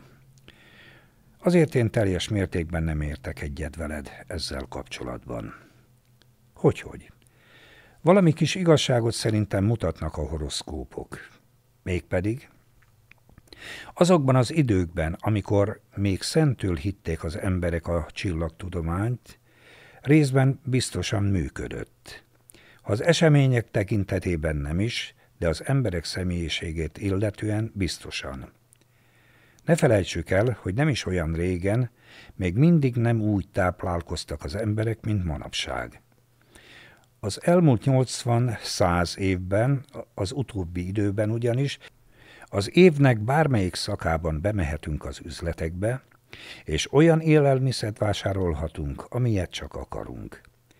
Ráadásul szedjük a vitamin és ásványi anyag tablettákat, valamint a legkülönfélébb táplálék kiegészítőket.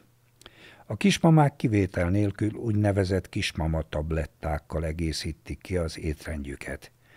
Ennek megfelelően még a D-vitamin szintjük is egész évben egyenletes a szervezetükben.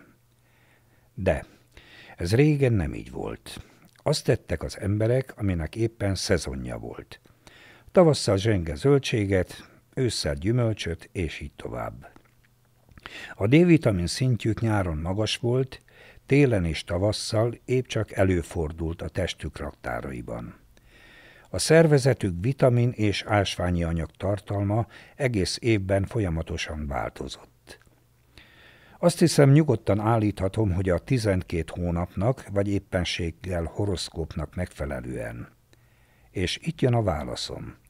A testalkathoz és a személyiség korai fejlődéséhez hozzá tartozik a tápláltság – és itt nem arra gondolok, hogy mennyi zsírt vagy fehérjét kap a születendő gyermek, milyen vitaminból és ásványból álló koktélraktárral jön a világra. És ennek a koktélraktárnak a százalékarányos készlete bizony annak függvényében változott, hogy a gyermek éppen az év melyik szakaszában, vagyis milyen csillagzat alatt született. Tehát Első lépésben így a személyiségi jellemzői váltak adottá, majd a későbbi életútja már a meglévő személyiségének volt az eredménye. Persze az életútnál azért sokkal többet nyomott a latba a családi háttér, de alapjába véve ezek a dolgok számítottak, amiket elmondtam. Így illettek a személyiségek és életutak egy-egy horoszkóphoz. Igen, Ebben lehet valami. 22. fejezet. Telepátia. Jól van. Az asztrológiával kapcsolatban elmondtuk mindketten a véleményünket. A következő a telepátia, ami gyakran eszembe jut, mint emberi sajátosság. Erről mit gondolsz? Valóban működhet? Igen, és nem csak működhet, hanem működik is. És egyáltalán nem emberi sajátosság, mert az egész élővilágot átszövi a telepátia. Ezt hogy értsem? A legszembetűnőbb módon az ikertestvérek esetében, vagy az anya és gyermeke között tapasztalható. Szinte nincs olyan ember a Földön, aki ne tapasztalta volna már meg élete során, legalább egyszer a gondolati vagy érzelmi síkon történő kapcsolatfelvételt. Testvér, szülő, házastárs, barát, stb. teljesen mindegy, Bármelyik esetben előfordulhat, hogy egyszer csak olyan szinten tisztában vagyunk a másik vágyával, állapotával vagy körülményeivel, mintha csak saját magunkról lenne szó. Ha más ember által veszélyben forgunk, vagy más ember érzi magát általunk veszélyben, azt is megérezzük. Ha hozzánk érzelmileg közel álló személy forog valaki által veszélyben, általában azt is megérezzük. Ezt a jelenséget nevezzük hatodik érzéknek.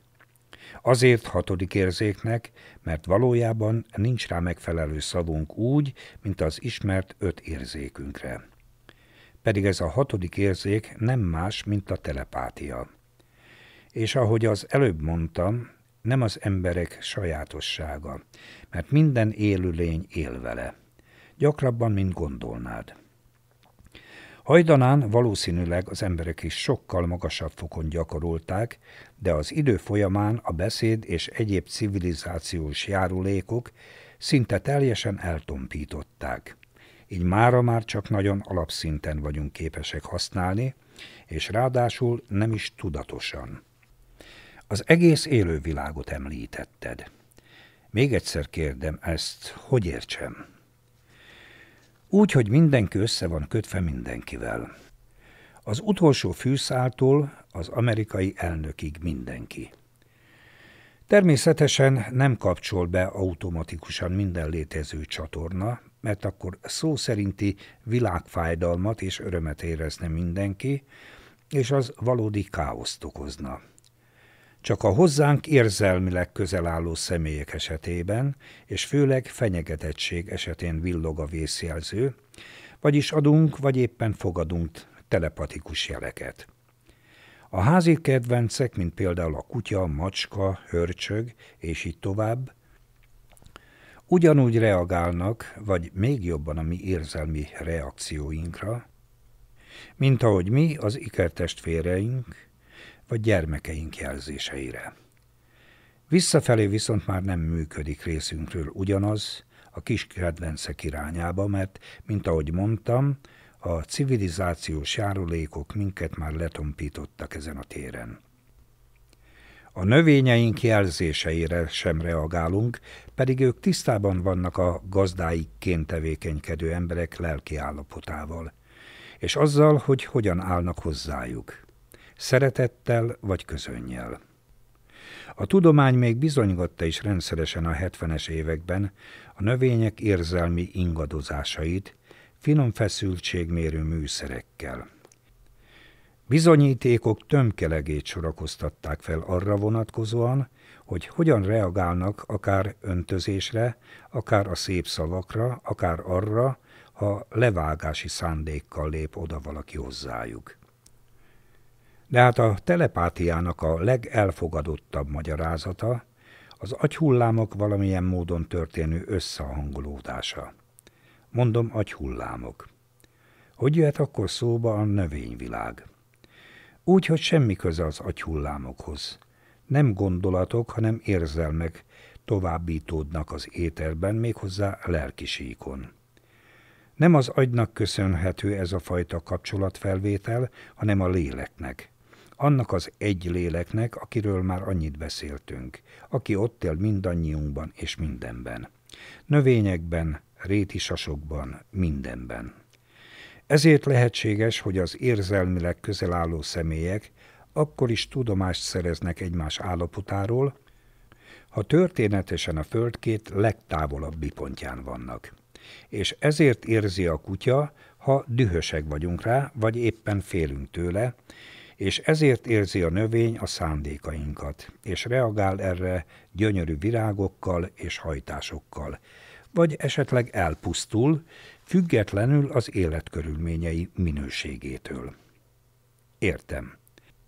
És gondolom a telepátiával magyarázható az is, hogy egy harcban áldozattá vagy ragadozóvá válunk. Mit szeretnél ezzel mondani? Ha egy élethelyzetben közelharcra kerül sor, és megijedsz, az ellenfeled képletesen szólva megérzi rajtad a vérszagot, és felülkerekedik rajtad. Ő ragadozóvá válik, te pedig áldozattá. Viszont a másik esetben, ha megérzed a fenyegetettséget, de nem ijedsz meg, hanem bátran felveszed a kesztyűt, úgy az ellenfeled megtorpan, és ő válik áldozattá, te pedig ragadozóvá. Nem rossz fejtés, de valójában? Igen, erről van szó. Ez a telepátia. 23. fejezet Jóslás Azt hiszem, az asztrológiára és a telepátiára ezzel némiképp meg is találtuk a magyarázatot. Még ha nem is definíció szintjén, de azért ennyivel már meg lehet kezdeni valamit. Szerintem is. És itt kell megemlítenem a következő témakört, a jóslást. Miért pont a jóslást? Azért, mert az asztrológiáról és a telepátiáról ez az első dolog, ami eszembe jutott. Az asztrológiával való összefüggést még megértem, de mi köze van a jóslásnak a telepátiához? Mindjárt meghallod. Az teljesen nyilvánvaló, és senkinek nem mond semmi újat, hogy az alapján is jósoltak, és jósolnak még ma is emberek, hogy egy adott csillagkép pillanatnyilag melyik csillagjegyre milyen hatással van, és hogyan képes befolyásolni egy bizonyos csillagjegynek a közeli vagy távoli jövőjét. Ezen kívül számításba vehetik a bolygók állását, a hold mienségét, hogy éppen fogyó vagy növő hold van, stb. De ez mind csak humbug, értelmetlen improvizáció, és semmi másra nem való, mint csak arra, hogy mégis valamivel előállhasson a jövendő mondó, ha már busás jövedelem üti ezért a markát. Egyébként háromfajta jós létezik és mindjárt megérted, mi van a jóslásnak a telepátiához. Az első. Az elsőre nem érdemes különösebben fecsérelni a szót. Ő az, aki csak improvizál. A bolygók együttállásából, tenyérből, kártyából, birkabélből, és tudom is én miből merítve az ihletet. Össze-vissza hablatyol mindenféle sületlenséget elvégzett egy gyors talpaló tanfolyamot, vagy autodidakta módon, innen-onnan megtanulta, hogy miből mit olvasson ki, és a honorárium reményében összehord mindent a szerencsétlen érdeklődőnek. A második. Neki már van valami köze a tehetséghez, de valójában ő sem jós. Azzal kezdi, hogy megkér, nem mutatkozz be. Ne mondj magadról semmit, és mint egy a bizalmad megerősítése gyanánt részletesen elmondja az addigi életedet és a jelenlegi körülményeidet. Némelyikük még azt is közli veled, hogy miért jöttél jósoltatni. Ettől azonnal vakul kezdesz hinni benne, és ámulva-bámulva hallgatod a jövőre vonatkozó terveid, megvalósulási menetét, majd a végén boldogan fizetsz. Elég sokat, már csak azért is, mert ezek a jósok már nem kérnek fix összeget, hanem rád bízzák a döntést, hogy egyáltalán otthagysz-e valamennyi pénzt. Pedig valójában itt sem történt jóslás. Ami történt, az annyi volt, hogy a jós vele született, az átlagosnál jóval erősebb telepatikus képességgel rendelkezik, és a múltaddal, jeleneddel és a jövőbeli terveiddel kapcsolatos érzelmeidet ugyanolyan erősen érzi, mintha saját érzelmeiről lenne szó. Olyan erősen áthatnak rá ezek az érzelmek, hogy már nála is képeket alkotnak. Így látja a titkaidat és terveidet egyaránt. Jósolni azért mer, mert ő maga sincs tudatában ennek a képességnek a részleteivel, és ő maga is valóban azt hiszi, hogy a jövődet látja, pedig nem. Csak a terveidet, vagy éppenséggel a félelmeidet. A harmadik. Ő tartozik a legkisebb táborba, és ő az, aki valóban jósol. Ha emlékszel, beszéltünk az időről, mint illúzióról. Arról, hogy mennyire csak nézőpont kérdése az egész, és hogy ebből adódóan nem is létezik. Illetve nyugodtan belesűríthetjük az egész általunk ismert eddig eltelt időt, de még a jövőt is egyetlen pillanatba. Ennek köszönhetik nagyon kevesek a tudásukat, jövendő mondás területén. Néhány szerencsés születés olyan egyedekkel ajándékozza meg az emberiséget, akik ők sem tudják, hogy milyen mechanizmusnak köszönhetően képesek az egész létezés időintervallumát az említett egyetlen pillanatban látni, beleértve természetesen a jövőt is. És ebből az egyetlen pillanatból kiragadni személyekkel vagy eseményekkel kapcsolatban a kívánt részleteket. Őket nevezhetjük minden cinizmus nélkül jósoknak. 24. fejezet. Számmisztika. Számokból is szokás jövendölni, és különböző sors irányító hatásokat tulajdonítanak sokan a számoknak. Erről mi a véleményed? Igen, a számmisztika. Legalább akkor a sületlenségnek tartom, mint a csillagképekből vagy a birkabélből történő jósolgatást. Nem kifejezetten a számokkal történő jóslásra gondolok, amikor sületlenségként emlegetem a dolgot, hanem minden egyéb babonás megnyilvánulásra, amelyet számokhoz kötnek. Nagyon sokan vannak, akik az életüknek szinte minden eseményét valamilyen számhoz vagy számsorhoz kötik, vagy éppen eltekintenek bizonyos eseményektől azért, mert egy olyan számhoz köthető dátum vagy bármi egyéb van jelen az esetében, amitől rettegnek. Ha valaki egyszer a fejébe veszi, hogy van egy szám, ami neki szerencsét hoz, vagy esetleg destruktívan hat a napjaira, onnantól kezdve ki van hegyezve rá, és úton útfélen látni fogja, találkozik vele. Amúgy észre sem venné, de mint mondtam, ki van hegyezve rá, és fel sem tűnik neki, hogy semmivel sem találkozik gyakrabban az adott számmal, mint bármelyik másikkal. Mindenbe belelátja, rendszámtáblába, a karórája számlapjába, utcai digitális hőmérőbe, mindenbe. A számmisztikával foglalkozó és ebből élő szakemberek is így érvényesülnek. Bármilyen születési dátumba vagy lakcímbe beleláthatnak bármit. Mivel a négy alapművelettel, egy összeadással, kivonással, szorzással és osztással bármilyen számból bármilyen számot ki lehet keverni. Ez konkrétan a matematika egyik fő szépsége. Azt kérded, hogy működik a számokkal történő sorselemzés. Először is az kell, hogy minden sorshelyzetnek legyen egy száma. Miután ez megvan, már csak azt kell tudnunk, hogy melyik dátumot vagy egyéb számot milyen műveletekkel és a műveletek milyen sorrendjével boncolgassuk, hogy megkapjuk a kívánt sorshelyzethez párosított számot. Ez a számmisztika. 25. fejezet Szellemidézés ahogy itt emlegettük, a növőholdhoz, fogyóholdhoz és a számok bűvös erejéhez köthető képzelgéseket, nekem is eszembe jutott egy nagyon érdekes és sokat vitatott kérdés, a szellemidézés valódisága. Valóban izgalmas kérdés, és nagyon megosztja véleményeket, a hitelességét illetően. Sokak szerint értelmetlen és gyerekes hobbi, még mások esküsznek rá, hogy igenis működik. Te mit gondolsz róla? Lehet hinni benne? Nem is tudom.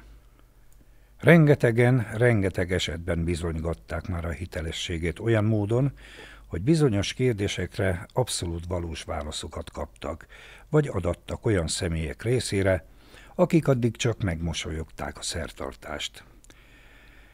Tényleg nem tudom, mit higgyek. Neked mi a meglátásod a szellemidéző szeánszokkal kapcsolatban? Én úgy gondolom, hogy ezeknek a szeánszoknak semmi közük az elhunytak szellemeihez. Lássuk csak, hogy működnek a szellemidézések. A két legismertebb, legelterjedtebb formáció a következő. Az egyik. Az asztallapon egy lefelé fordított pohárra helyezik legalább hárman a mutató ujjukat, közben szigorúan ügyelnek rá, hogy az ujjaik folyamatosan összeérjenek egymással. Koncentrálnak a szellemre. Folyamatosan hívják, majd amikor jelen lesz, a porhat kezdi tologatni a hívott szellem az asztalapra előre felírt számokra és betűkre. Így válaszolva a feltett kérdésekre. A másik. Körbeülnek legalább hárman egy asztalt. Lehetőleg kerek faasztalt. Fölé vagy ráhelyezik szétnyitott ujjakkal a tenyereiket úgy, hogy a hüvelyk és a kisujjuk folyamatosan össze legyen érintve. Gondosan ügyelve rá, hogy ne szakadjon meg a kör. Koncentrálnak. Elkezdik hívni a szellemet, aki miután megjön, az asztal emelgetésével és a padlóhoz koppintgatásával ad hírt magáról.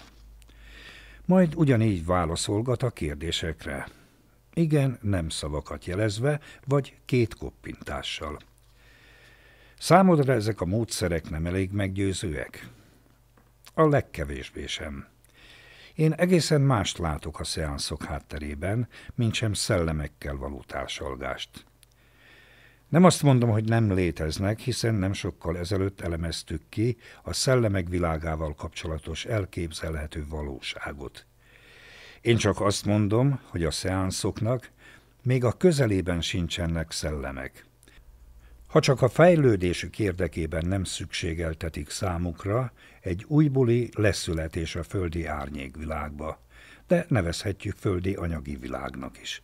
Akkor bizony nem csak, hogy nem érdekli őket ez a szféra, de még csak nem is tudnak róla.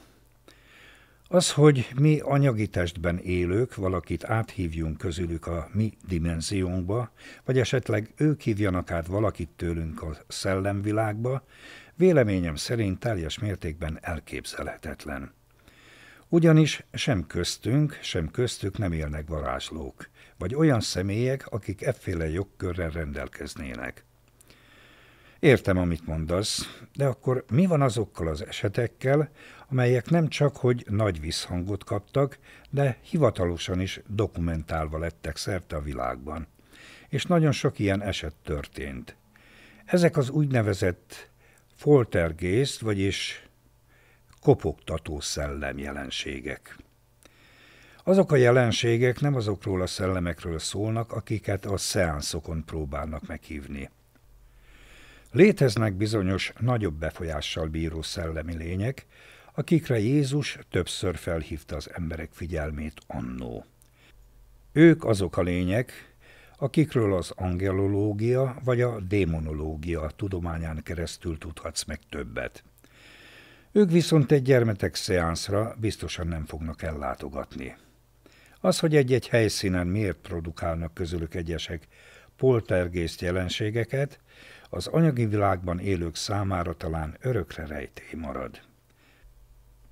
Akkor kibozgatja az asztalt vagy a poharat a szellemidéző szeánszon.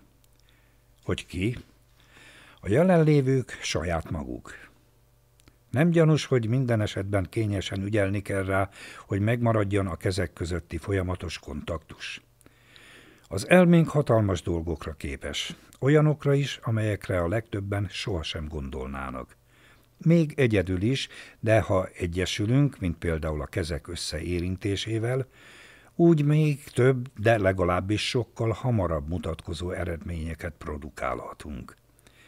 Egyébként az egymás kezét fogó közös imádságoknak is ebben rejlik az ereje. Ez esetben is a gondolati teremtő erő játsza a legfőbb szerepet. Ha a kezek összeérintésével jelképesen egyesülünk, akkor az egyesülés tényét elhisszük, és így az elménk valóban egyesít minket, vagyis megteremti a kért állapotot. Innentől kezdve bármelyikünk részéről teszünk fel bármilyen titkos kérdést, amire csak a kérdező tudhatja a választ, az asztal vagy a lefordított pohár hiteles választ fog adni, mert az Egyesült Elme fog válaszolni gyakorlatilag saját magának. Hogy az asztal vagy a pohár hogy lesz képes mozogni? Mint mondtam, a gondolati teremtő erő adja erre a kérdésre is a választ. Nagyon sokan élnek a Földön, akik rendelkeznek a telekinézis képességével. Vagyis képesek az akarat erejükkel tárgyakat mozgatni a környezetükben. A szeánszok alkalmával is ez történik. Az egyesült elme jóval erősebb az egyéni elménél. Elképzeli, akarja az asztal vagy a lefordított pohár mozgását, elképzeli a választ, mivel a társaság valamelyik tagja már eleve tudja, és a válaszadás módját, mint végeredményt, és megteremti. Ez lenne a szellemidéző szeánsz? Ez. Semmi köze a holtak szelleméhez, csak is az élőkéhez. A jelenlévők produkálják. 26. fejezet Átok Elfogadom a szellem idézésről szóló eszmefuttatásodat, de van még egy misztikus jelenség, ami legalább annyira osztja a hívők és a szkeptikusok véleményét, mint a szellemekkel kapcsolatos kérdések. Ez pedig az átok. Igen, a szellemidézéshez hasonlóan ezt a témakört is legalább annyian megmosolyogják, mint amennyien komolyan veszik. Pedig számtalan beszámoló létezik bizonyos körökben az átkok működésének hitelességét illetően. Vajon mi által hat, ha egyáltalán hat az átok valakire? Én úgy hiszem, hogy az átkozódás csak úgy, mint az áldásosztás hatása is, a gondolati teremtő erőn múlik. Pontosabban azon, hogy kiben mekkora hit táplálja ezt a készséget. Mint korábban megbeszéltük, a bennünk lakó lélektől bármit megrendelhetünk, jót vagy rosszat egyaránt. Ő, mint Isten, megadja, nem csak a saját egészségi állapotunkra vonatkozóan, de a történésekre és mások egészségi állapotára, illetve a másokat érintő történések esetében is megrendelhetjük a vágyunk tárgyát. Hogy jó vagy rossz céllal vágyunk egymást, vagy másokat érintő bizonyos állapotra vagy történésre, az rajtunk múlik. A választás a miénk, és csak is ezen múlik, hogy áldás vagy átok lesz az, amit teremtünk. Azt akarod mondani, hogy képesek emberek áldást vagy átkot szórni? Igen. Képesek, nagyon sokan. Háromféle módon működik az áldás vagy az átok. Az első. A legkisebb hatékonysággal működő folyamat, amikor kifejezetten csak arra van hagyatva az átok vagy áldás, hogy mennyire hisz benne az a személy, aki meg lett vele célozva. Ez esetben mondhatjuk azt, hogy csak arra hat, aki hisz benne. Ehhez az kell, hogy a megcélzott személy hallja a szavakat, az őt érintő kívánságokat. Itt a küldő vagy kérő személy teljesen átlagos, semmivel sem rendelkezik erősebb hittel és teremtő erővel a nagy átlagnál. A megcélzott személy, ha valóságként, tényként kezeli a hallottakat, úgy beindul a placebo hatás, és saját maga teremti meg a kért állapotokat, mint végeredményt. Viszont ha nem hisz benne, úgy elvész a szavak ereje az éterben. A második. Ez a folyamat már valamivel több hatékonysággal működik, és nem említhető bárki képességeként. Ez esetben nincs rá szükség, hogy a megcélzott személy hallja a szavakat, és az sem kell, hogy higgyen benne. Az átkod vagy áldást küldő személy nem képes tudatosan rendelni a lélektől. Sőt, a legtöbb esetben nincs is tudatában annak, amit tesz. Egyszerűen csak természetesnek vesz önmagával vagy másokkal kapcsolatban különböző állapotokat vagy élethelyzeteket, és megteremti azokat. Azáltal, hogy természetesnek veszi őket. Ennyi kell részéről a teremtéshez. Nem szándékosan rendel jó vagy rossz dolgokat, egyszerűen csak természetesnek veszi őket, mint várható következményeket. Miután pedig megtörténtek, azt mondja, ugye én megmondtam. A harmadik.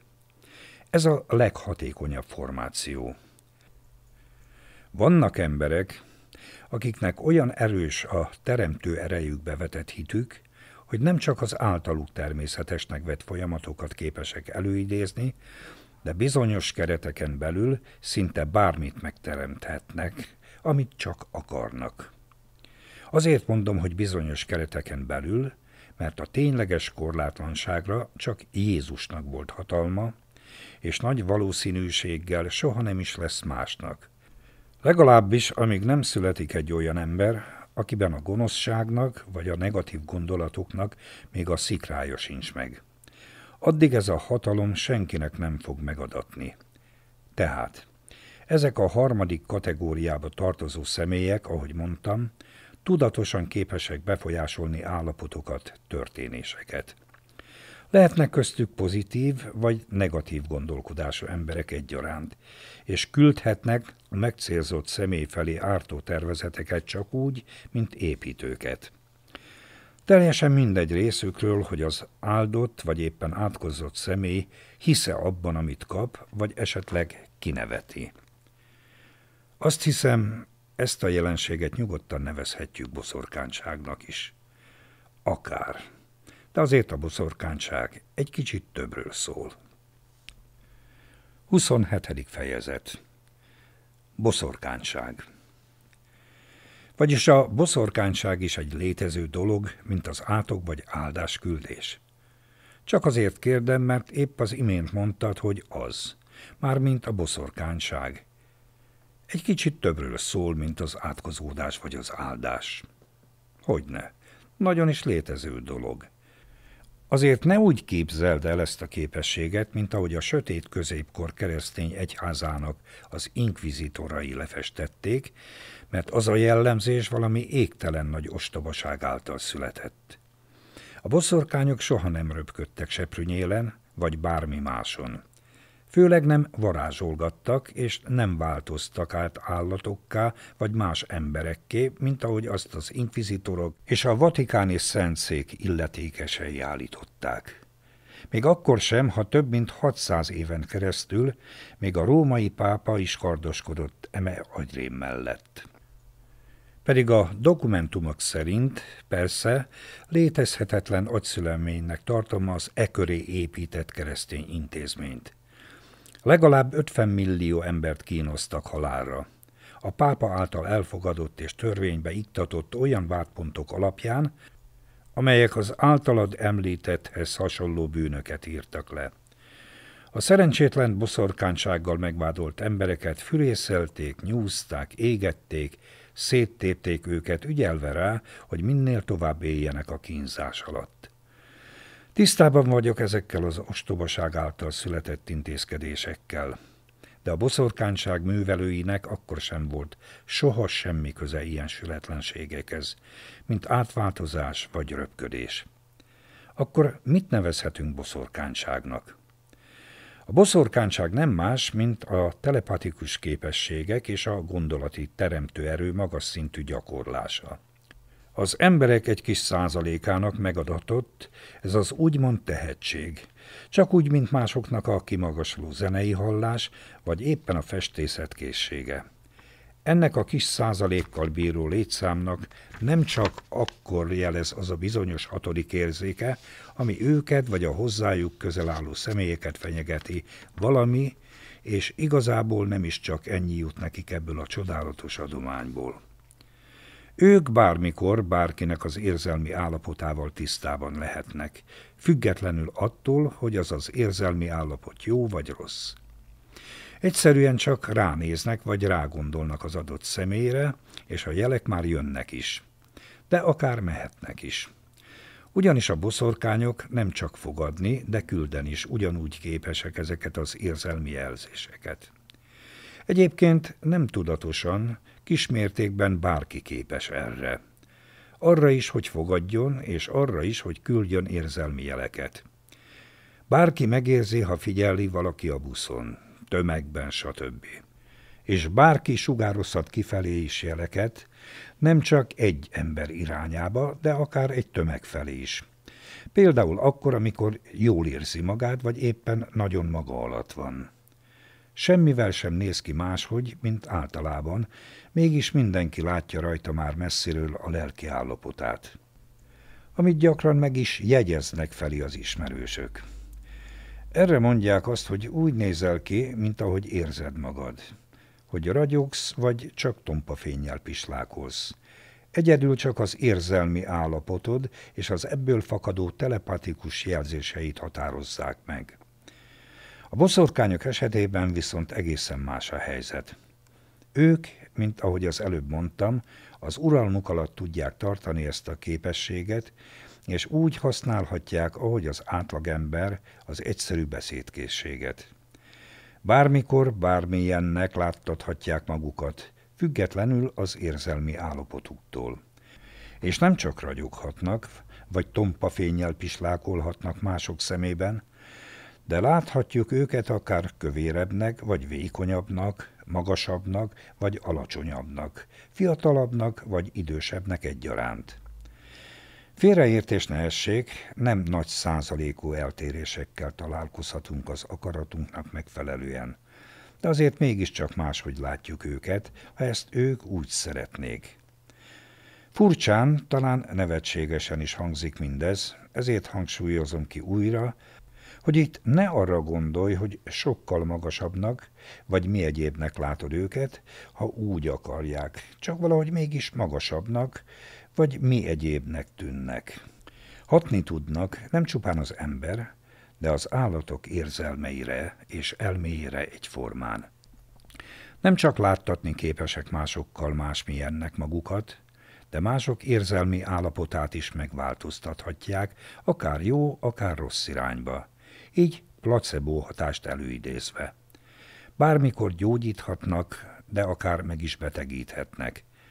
A beleérző készségüknek és a gondolati teremtő erejüknek köszönhetően elég csak elképzelniük valaki testében vagy lelki állapotában a változást.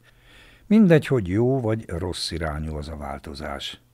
És a folyamat elindul és nem csak a testi vagy a lelki állapotokban képesek ilyen módon változást előidézni, de az adott szemét érintő történéseket, élethelyzeteket, de fogalmazhatunk úgy is, hogy akár a sorsát is képesek egy bizonyos mederben tartani vagy terelgetni. Ez amennyiben így van, eléggé félelmetes. Ugyan már, nem kell tartani tőlük ne a dajka mesékből fakadó sztereotípiákra hagyatkozz, ami úgy emlegeti őket, hogy gonosz boszorkányok. Akinek megadatott, hogy ilyen képességekkel rendelkezzen, az semmiképpen sem lehet rossz indulatú, sőt, a tisztánlátásuk eredményeként ők a legigazságosabb emberek. A bájitalokkal kapcsolatos foglalatosságaikról szóló történetek is csak középkori fantazmagóriák. Bájitalokkal nyilván foglalkoztak, és foglalkoznak ma is, de korán sem úgy, ahogy azt a fantazmagória emlegeti. Ezt hogy értsem? A bájitaloknak semmilyen úgynevezett varázsereje nincsen. Az egésznek a hatékonysága abban rejlik, hogy a hitelesen praktizáló boszorkány, mert hát a rengeteg sarlatán közt, akik hirdetik magukat, vannak valódi boszorkányok is, ad egy üvegcsében vagy valami ilyesmiben egy bizonyos folyadékot, ami egyébként bármi lehet, nincs jelentősége. És azáltal, hogy a varást kérő személy elhiszi annak a hatását, működni fog. Tehát ez semmi más, mint a gondolati teremtőerő eredménye. Pontosan. A boszorkány a beleérző képességének köszönhetően ad az őt megkereső személynek egy jókora adag hitet, és így a varázs működni fog még akkor is, ha a varázskérő személy valaki mással szemben akarja alkalmazni. Érdekes. Érdekes ez az egész, amiről eddig beszéltünk. Hogy mire képes az emlősök osztályának ez a rétege, az emberi faj, és hogy miféle dolgok érdeklik, és hogy mik azok a dolgok, amelyekre szinte nem is keresi a választ. Valóban érdekes. Egy valamire még szeretnék választ kapni, és egyúttal témát váltanék. Mi lenne az? Az emberi kapcsolatokon belül a férfi-női kapcsolat. Rendben. Már tudom is a választ. 28. fejezet Miért alkalmazkodnak könnyebben a nők, mint a férfiak? Nagyon egyszerű. Azért, mert ők a gyengébbik nem. Ennyi lenne a magyarázat? Nem. A magyarázat azért egy kicsit tartalmasabb lesz, de alapjában véve erről van szó. Amikor a nőkre utalva azt mondjuk, hogy gyengébbik nem, akkor azt a szószoros értelmében kell fogadni, hiszen valóban semmi másra nem vonatkozik esetükben ez a jelző, mint csupán a testi erejükre. A nők szervezetében a női nemi hormonok vannak túlsúlyban, még a férfiakéban a férfi nemi hormonok. A kétféle hormonháztartásban rejlő eltérések okozzák ugyanúgy a fizikális, mint a mentális különbségeket, és az agresszió mértékéért is ezek felelősek. A fizikális különbségek abból adódnak, hogy a női test lényegesen kevesebb izomszövettel és több zsírszövettel rendelkezik. A férfiak esetében viszont az izomszövet jóval magasabb arányú, viszont zsírszövetekből rendelkezik kevesebbel. Ha körülnézünk az utcán, nem éppen ezt látjuk. Ne abból indulj ki, hogy a modern élet mit eredményezett. A mai világban, amikor bárki bármit, bármikor ehet, az elhízottság mindkét nem esetében ugyanúgy probléma, és valóban néha csak abból tudhatjuk meg, hogy férfi -e vagy nő a velünk szembe jövő illető, hogy mennyire borostás az arca. Abból kell kiindulni, hogy mi volt az őskorban, amikor a civilizáció még nagyon gyerekcipőben járt. Amikor még szinte jelentéktelenek voltak az ember és a többi emlős között fellelhető életvitelbeli különbségek. A nők dolga az volt, hogy utódokat szüljenek és neveljék őket, amíg azok önálló életre nem alkalmasak. És ha egy másik nő meghalt, a szülést követő utódnevelési időszakban valamilyen oknál fogva, akkor az ő gyermekét is ugyanolyan gondoskodással voltak képesek óvni, mint a sajátjaikat. Főleg ebben a viselkedés formában rejlenek a mentális és érzelmi különbségek, hiszen a férfiak az idegen, vagyis a nem hozzájuk tartozó nők gyermekeit a majmokhoz hasonlóan bármikor képesek voltak megölni, ha felügyelet nélkül találták. Pusztán a dominancia késztette rivalizálás indítatásából. Hogy amennyire csak tudják, gátolják a másik him génjeinek terjedését. Őket nem motiválta utódnevelési ösztön, csak is az utódnemzés gondolata hajtotta őket. Egy dolog számított, minél több magot elhinteni, hogy minél hatékonyabban működjön ez a bizonyos elhintés. Rendszeresen élethalál harcot kellett a más himekkel a nőkért, de néha még egy-egy hajlandóságot sem mutató nőt is maga alá kellett gyűrnie. Emiatt is a nagyobb mértékű testi erő. Ha jól veszem ki a szavaidból, a nők ezért voltak kénytelenek sokkal könnyebben alkalmazkodni.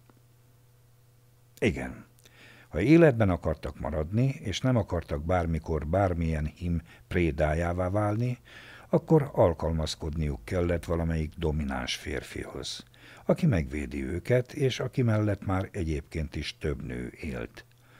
Alkalmazkodniuk kellett a férfihoz, és a körülötte élő nőkhöz egyaránt. Egy magányos nőnek a férfiéhez képest sokkal kisebb testi ereje véget, csak bujkálás lett volna az élete. gyermekkel az ölében viszont teljes reménytelenségben sínlődött volna. Mindenképpen kiszolgáltatott helyzetben volt.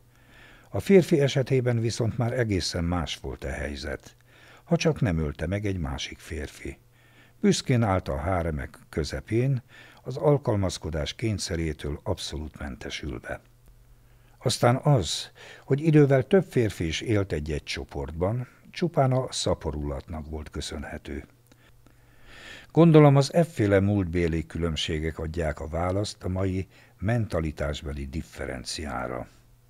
Igen, és ezek magyarázzák az alkalmazkodásra vagy a kompromisszumokra való hajlam meglétét, vagy éppen teljes hiányát. Egy rögtönzött történettel szeretném szemléltetni, hogy működik a két nem. Még egyszer mondom, ne abból indulj ki az értelmezésnél, hogy mi van ma, civilizáció, emancipáció, stb., hanem abból, ahogy a természet megalkotott minket. Tehát volt egy férfi annó a kezdeteknél, aki nemrég megölt egy másik férfit. Így annak a másik férfinak a három nője csatlakozott hozzá, és a már meglévő két nőjéhez. Így öt nője lett. Egy napon ez a férfi szemben találta magát egy arra járó négy nős másik férfival, aki erősebbnek bizonyult, és így ez a férfi belehalt a küzdelembe. Mi történt a nőivel? Azonnal a győztes köré sereglettek, és csatlakoztak az ő meglévő négy nőjéhez, akikkel együtt már kilencen lettek. Akár tetszett a nőknek, akár nem, alkalmazkodniuk kellett. Igazából ez nem jelentett számukra a lelki problémát, mivel a természet már eleve úgy alkotta őket és a felfogásukat, hogy ez így van rendjén, és az ő érdekükben történik. A nők a túlélésük érdekében a legnagyobb természetességgel olvadtak bele bármelyik női közösségbe, míg a férfiak, ha megláttak egy idegen férfit, azonnal harcra keltek vele, és a legtöbb esetben csak az egyikük maradt életben. Ők egyáltalán nem alkalmazkodtak. Büszkén sugározták a dominanciát. Ezzel magyarázható az a jelenség is, amikor a mai világban egy házasság vagy élettársi kapcsolat megszűnését követően a férfi amennyiben érzelmileg elkötelezett, hosszú ideig szenved, és sok esetben még ránézni is képtelen másokra. Viszont a nő szinte azonnal képes váltani, és egy másik férfi mellett boldogan élni tovább. Pont úgy, mint azokban a bizonyos régi időkben. A férfit folyamatosan körüllegyeskedték a női. Biztosították a szerelmükről, de ha belehalt a riválissal folytatott küzdelembe, azonnal az összes nője, a győztes, domináns hím köré csoportosult, és onnantól kezdve őt legyeskedték körül. Az előzőt pedig úgy elfelejtették, mintha soha nem is élt volna. Ezek a jellemvonások ma is megvannak. Ezek a jellemvonások a génekbe vannak kódolva, és soha nem fognak megszűnni, vagyis mindig meg lesznek. Ha csak a jövő fejlett géntechnológiája nem fogja kiiktatni. Emiatt találkozhatunk gyakran olyan problémával a modern világban, hogy egy férfi elégedetlen a párkapcsolatával. Ha ugyanis a nő több pénzt keres, mint a férfi, vagyis neki köszönhetően biztosított a párkapcsolatban egy bizonyos egzisztencia szint, akkor a büszke férfi már nem lesz az a büszke férfi, aki ez a párja az életben maradás érdekében alkalmazkodik. Elveszíti az illúziót, miszerint ő a dominancia megtestesítője. Önértékelési zavarai lesznek, és onnantól kezdve a minőségbeli romlás eredményeképpen a kapcsolatnak gyakorlatilag vége lesz. Mivel a férfi sokkal nehezebben alkalmazkodik, mint a nő. Vannak, akik nem csak nehezebben, de teljes mértékben képtelenek is az alkalmazkodásra. Míg a nők számára ez igazából nem is jelent problémát. Így van. A nők természetüknél fogva képesek erre. A gényeikbe van kódolva, mint túlélési ösztön. 29. fejezet Miért támadnak meg egyes férfiak védtelen nőket? Rendben. A férfi-női kapcsolatok genetikailag meghatározott mikéntjét megbeszéltük. De minek köszönhető az a viselkedés, ami a mai civilizált világban elfogadhatatlan? Mégpedig, hogy egyes férfiak szexuális támadásokat intéznek védtelen nők ellen. Ennek a kérdésnek is úgy lehetséges a megválaszolása, ha visszanyúlunk a múltba egészen az őskorig. Kíváncsian várom. Lássuk csak. Hogy működött annó a kapcsolatteremtés egy férfi és egy egyedül kóborló nő között? Tehát azokat a nőket nem fenyegette ilyen jellegű veszély, akik a csoportjukkal vagy az őket védelmező férfival mozogtak. Viszont akik hosszabb-rövidebb időre elszakadtak a családjuktól, azoknak nagyon kellett figyelniük és folyamatosan bujkálva közlekedniük, nehogy összefussanak egy vadászó vagy magányos férfival, mert bizony azokban az időkben nem volt romantika vagy udvarlás. Ha a férfi észrevett valahol egy idegen nőt, és el tudta kapni, akkor nem volt kérdéses, hogy a magáévá teszi-e, függetlenül attól, hogy a nő ehhez hozzájárul vagy sem. Ha máshogy nem bírt vele, hát leütötte, és úgy ájultan igyekezett megtermékenyíteni. A nőknek sem minden esetben volt ellenvetése a szexuális aktussal kapcsolatban. Amikor történt egy véletlen találkozás a vadonban, egyszerűen csak nem futottak el, vagy jóval többet igyekeztek mutatni a testükből, mint amennyit az öltözékük egyébként engedett. Ennyi bőven elég volt a férfi részére ahhoz, hogy párzásra való felhívásnak tekintse a nő magatartását. Azt akarod mondani, hogy az ebből származó maradványviselkedés az, amit a nőket megtámadó férfiak tanúsítanak? Pontosan erről van szó. A modern világban a törvények elrettentő ereje elég ahhoz, hogy a férfiak kordában tartsák az ösztöneiket. Viszont egy nagyon kis létszámú réteg, akik jóval gyengébb jellemmel rendelkeznek, mint az átlag, képtelenek féken tartani magukat. Ha meglátnak egy mélyebb dekoltást, vagy egy miniszoknyát, egyszerűen elfelejtik a törvényeket, és ugyanúgy reagálnak, mint az őseink. Úgy veszik a látottakat, mint ahogy a régi időkben az ősapáink. Ha nem fut el, vagy többet mutat magából a kelleténél, akkor az már felhívás a párzásra. Igen, ez logikus. 30. fejezet Predestináció, mint zárszó. Erősen az éjszakába nyúlt Sapiens elmélkedéssel töltött ideje, amit végig a parkban töltött egy padon ülve.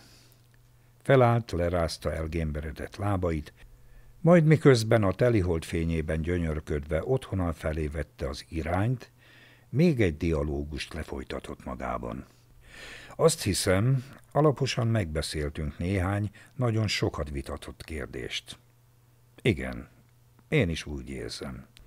Arra gondoltam, hogy ha már úgy is megjelentetünk időnként egy-egy könyvet, papírra vethetnénk az este folyamán elhangzott párbeszédünket is. Egyetértek. Olyannyira, hogy már azt is tudom, mivel fogjuk befejezni, lezárni a kötetet. Abszolút ideillő téma. A lehetséges jövőről ugyan nem beszéltünk az elmúlt órákban de a legutóbbi könyvünkből fogjuk ideilleszteni az emberiség jövőjére vonatkozó meglátásunkat. Így fog hangzani. Annó Domini 2017-et írunk. Az elmúlt néhány évtizedes időintervallumot rövidebb ciklusokra bontjuk, láthatjuk, hogy ezek a ciklusok egymáshoz viszonyítva hatványozott mértékű technikai és ismeretbeli fejlődést mutatnak minden területen, amibe az ember belenyúlt, akár tudásvágyból, akár manipulatív szándékból. Nyilvánvaló, hogy ez a felgyorsult, önmagát hatványozva gerjesztő folyamat a számítástechnika feltalálásának és alkalmazásának köszönhető. Nem kell hozzá bonyolult szimulációs programot írni, hogy leputtathassuk, hogyan alakul a jövőben az emberiség sorsa. Elég ehhez a puszta emberi számítókészség, amely az elménkben lakozik. Láthatjuk, hogyan veszi át mindinkább a mikrocsipek irányította termelőerő a vezető szerepet az emberi munkaerővel szemben. Komputerizált világban élünk. Számítógépek vezérelnek gyakorlatilag mindent. Ahhoz, hogy a mai ipari és mezőgazdasági termelés szintjét processzorok és egyéb kütyük nélkül teljesíthessük, és ki tudjuk elégíteni a fogyasztói társadalom szükségleteit, úgy, hogy gépeket ugyan használunk, de a robotikát mellőzzük, munkásaink sokszorosára lenne szükség. Még így is, hogy földünk lakosságának csupán a töredékét nevezhetjük érdemben fogyasztói társadalomnak. Tehát az igények a legújabb korra a régebbiekhez viszonyítva óriásira nőttek. Mégis az idő előre haladtával egyre kevésbé lesz szükség az élő munkaerőre. Az is egyértelmű, hogy belátható időn belül a terciár szektorból is kiszorul az emberi munkaerő. Mindenhonnan kiszorul. Mindent robotok fognak csinálni. Mindent ők fognak megtermelni. Ők gyógyítanak, tanítanak, bíráskodnak, ítélkeznek, még az örökké fiatal és vonzó szeretőink is ők lesznek. Csak a legfőbb döntéshozó réteg alakul emberekből, a rendszer alapító tagok leszármazotti elitjéből. A robottechnika élethű humanoidokat fog legyártani, hogy a szolgáltatásokat végző gépek közt némiképp emberi körülményeket érezzünk. A számítástechnika teljes mértékben önfejlesztővé válik, és semmilyen munkát nem végeznek már emberek, ahogy írtam, még a terciér szektorban sem.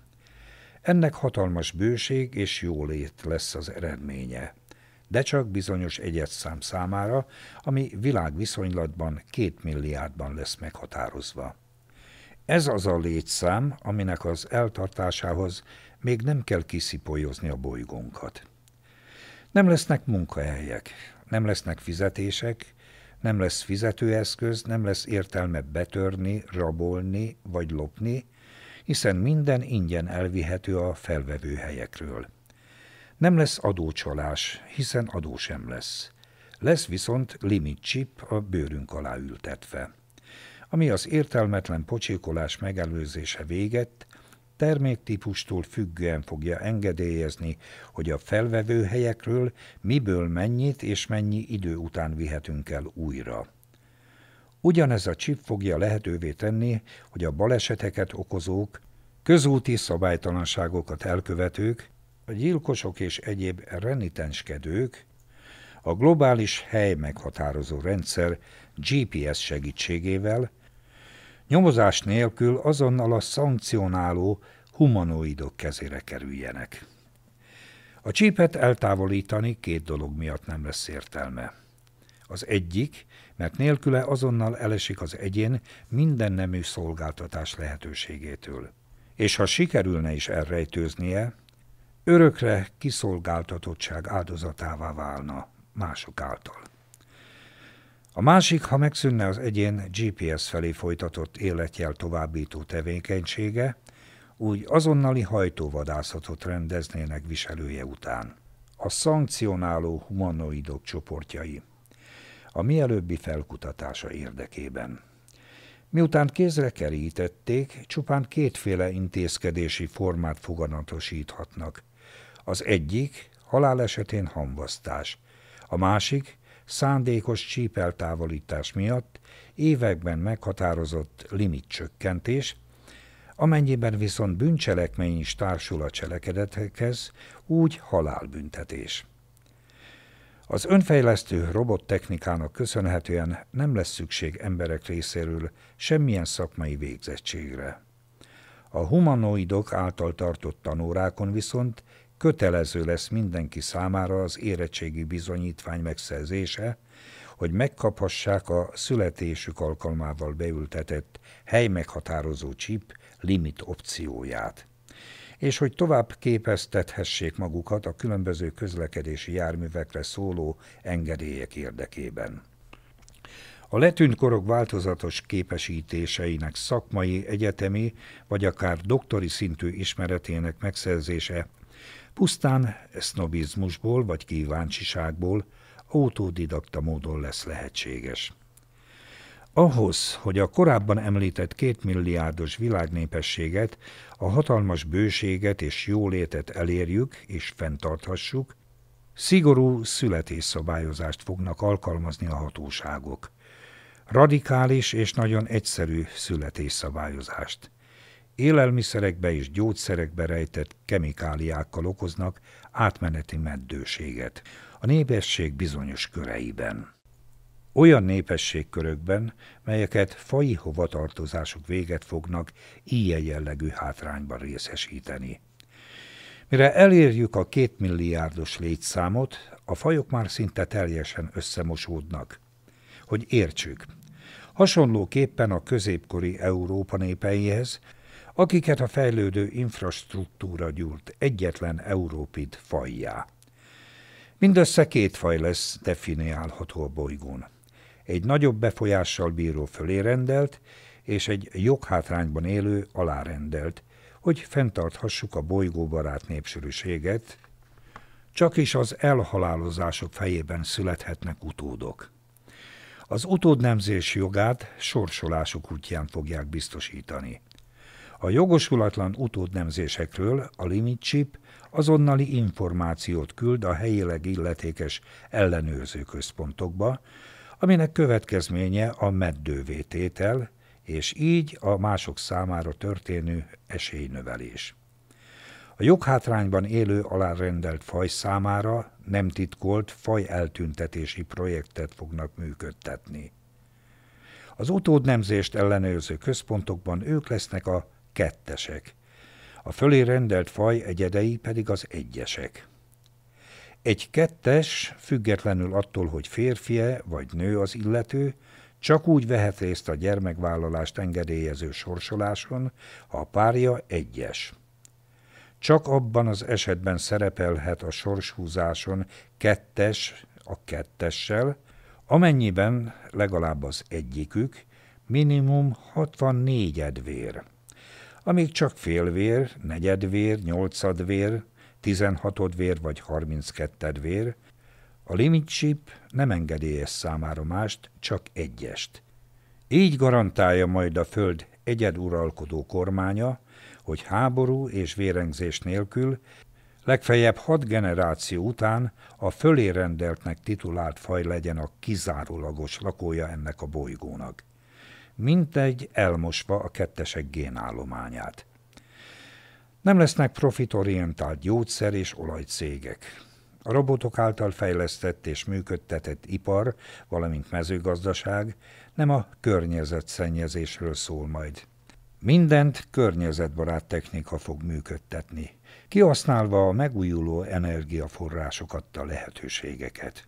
A gyógyszergyártás valóban a gyógyítás szolgálja, hadipar helyett pedig az űrkutatás lesz a legfőbb kutatási terület és kezdetét veszik földünkön a paradicsomi állapotok.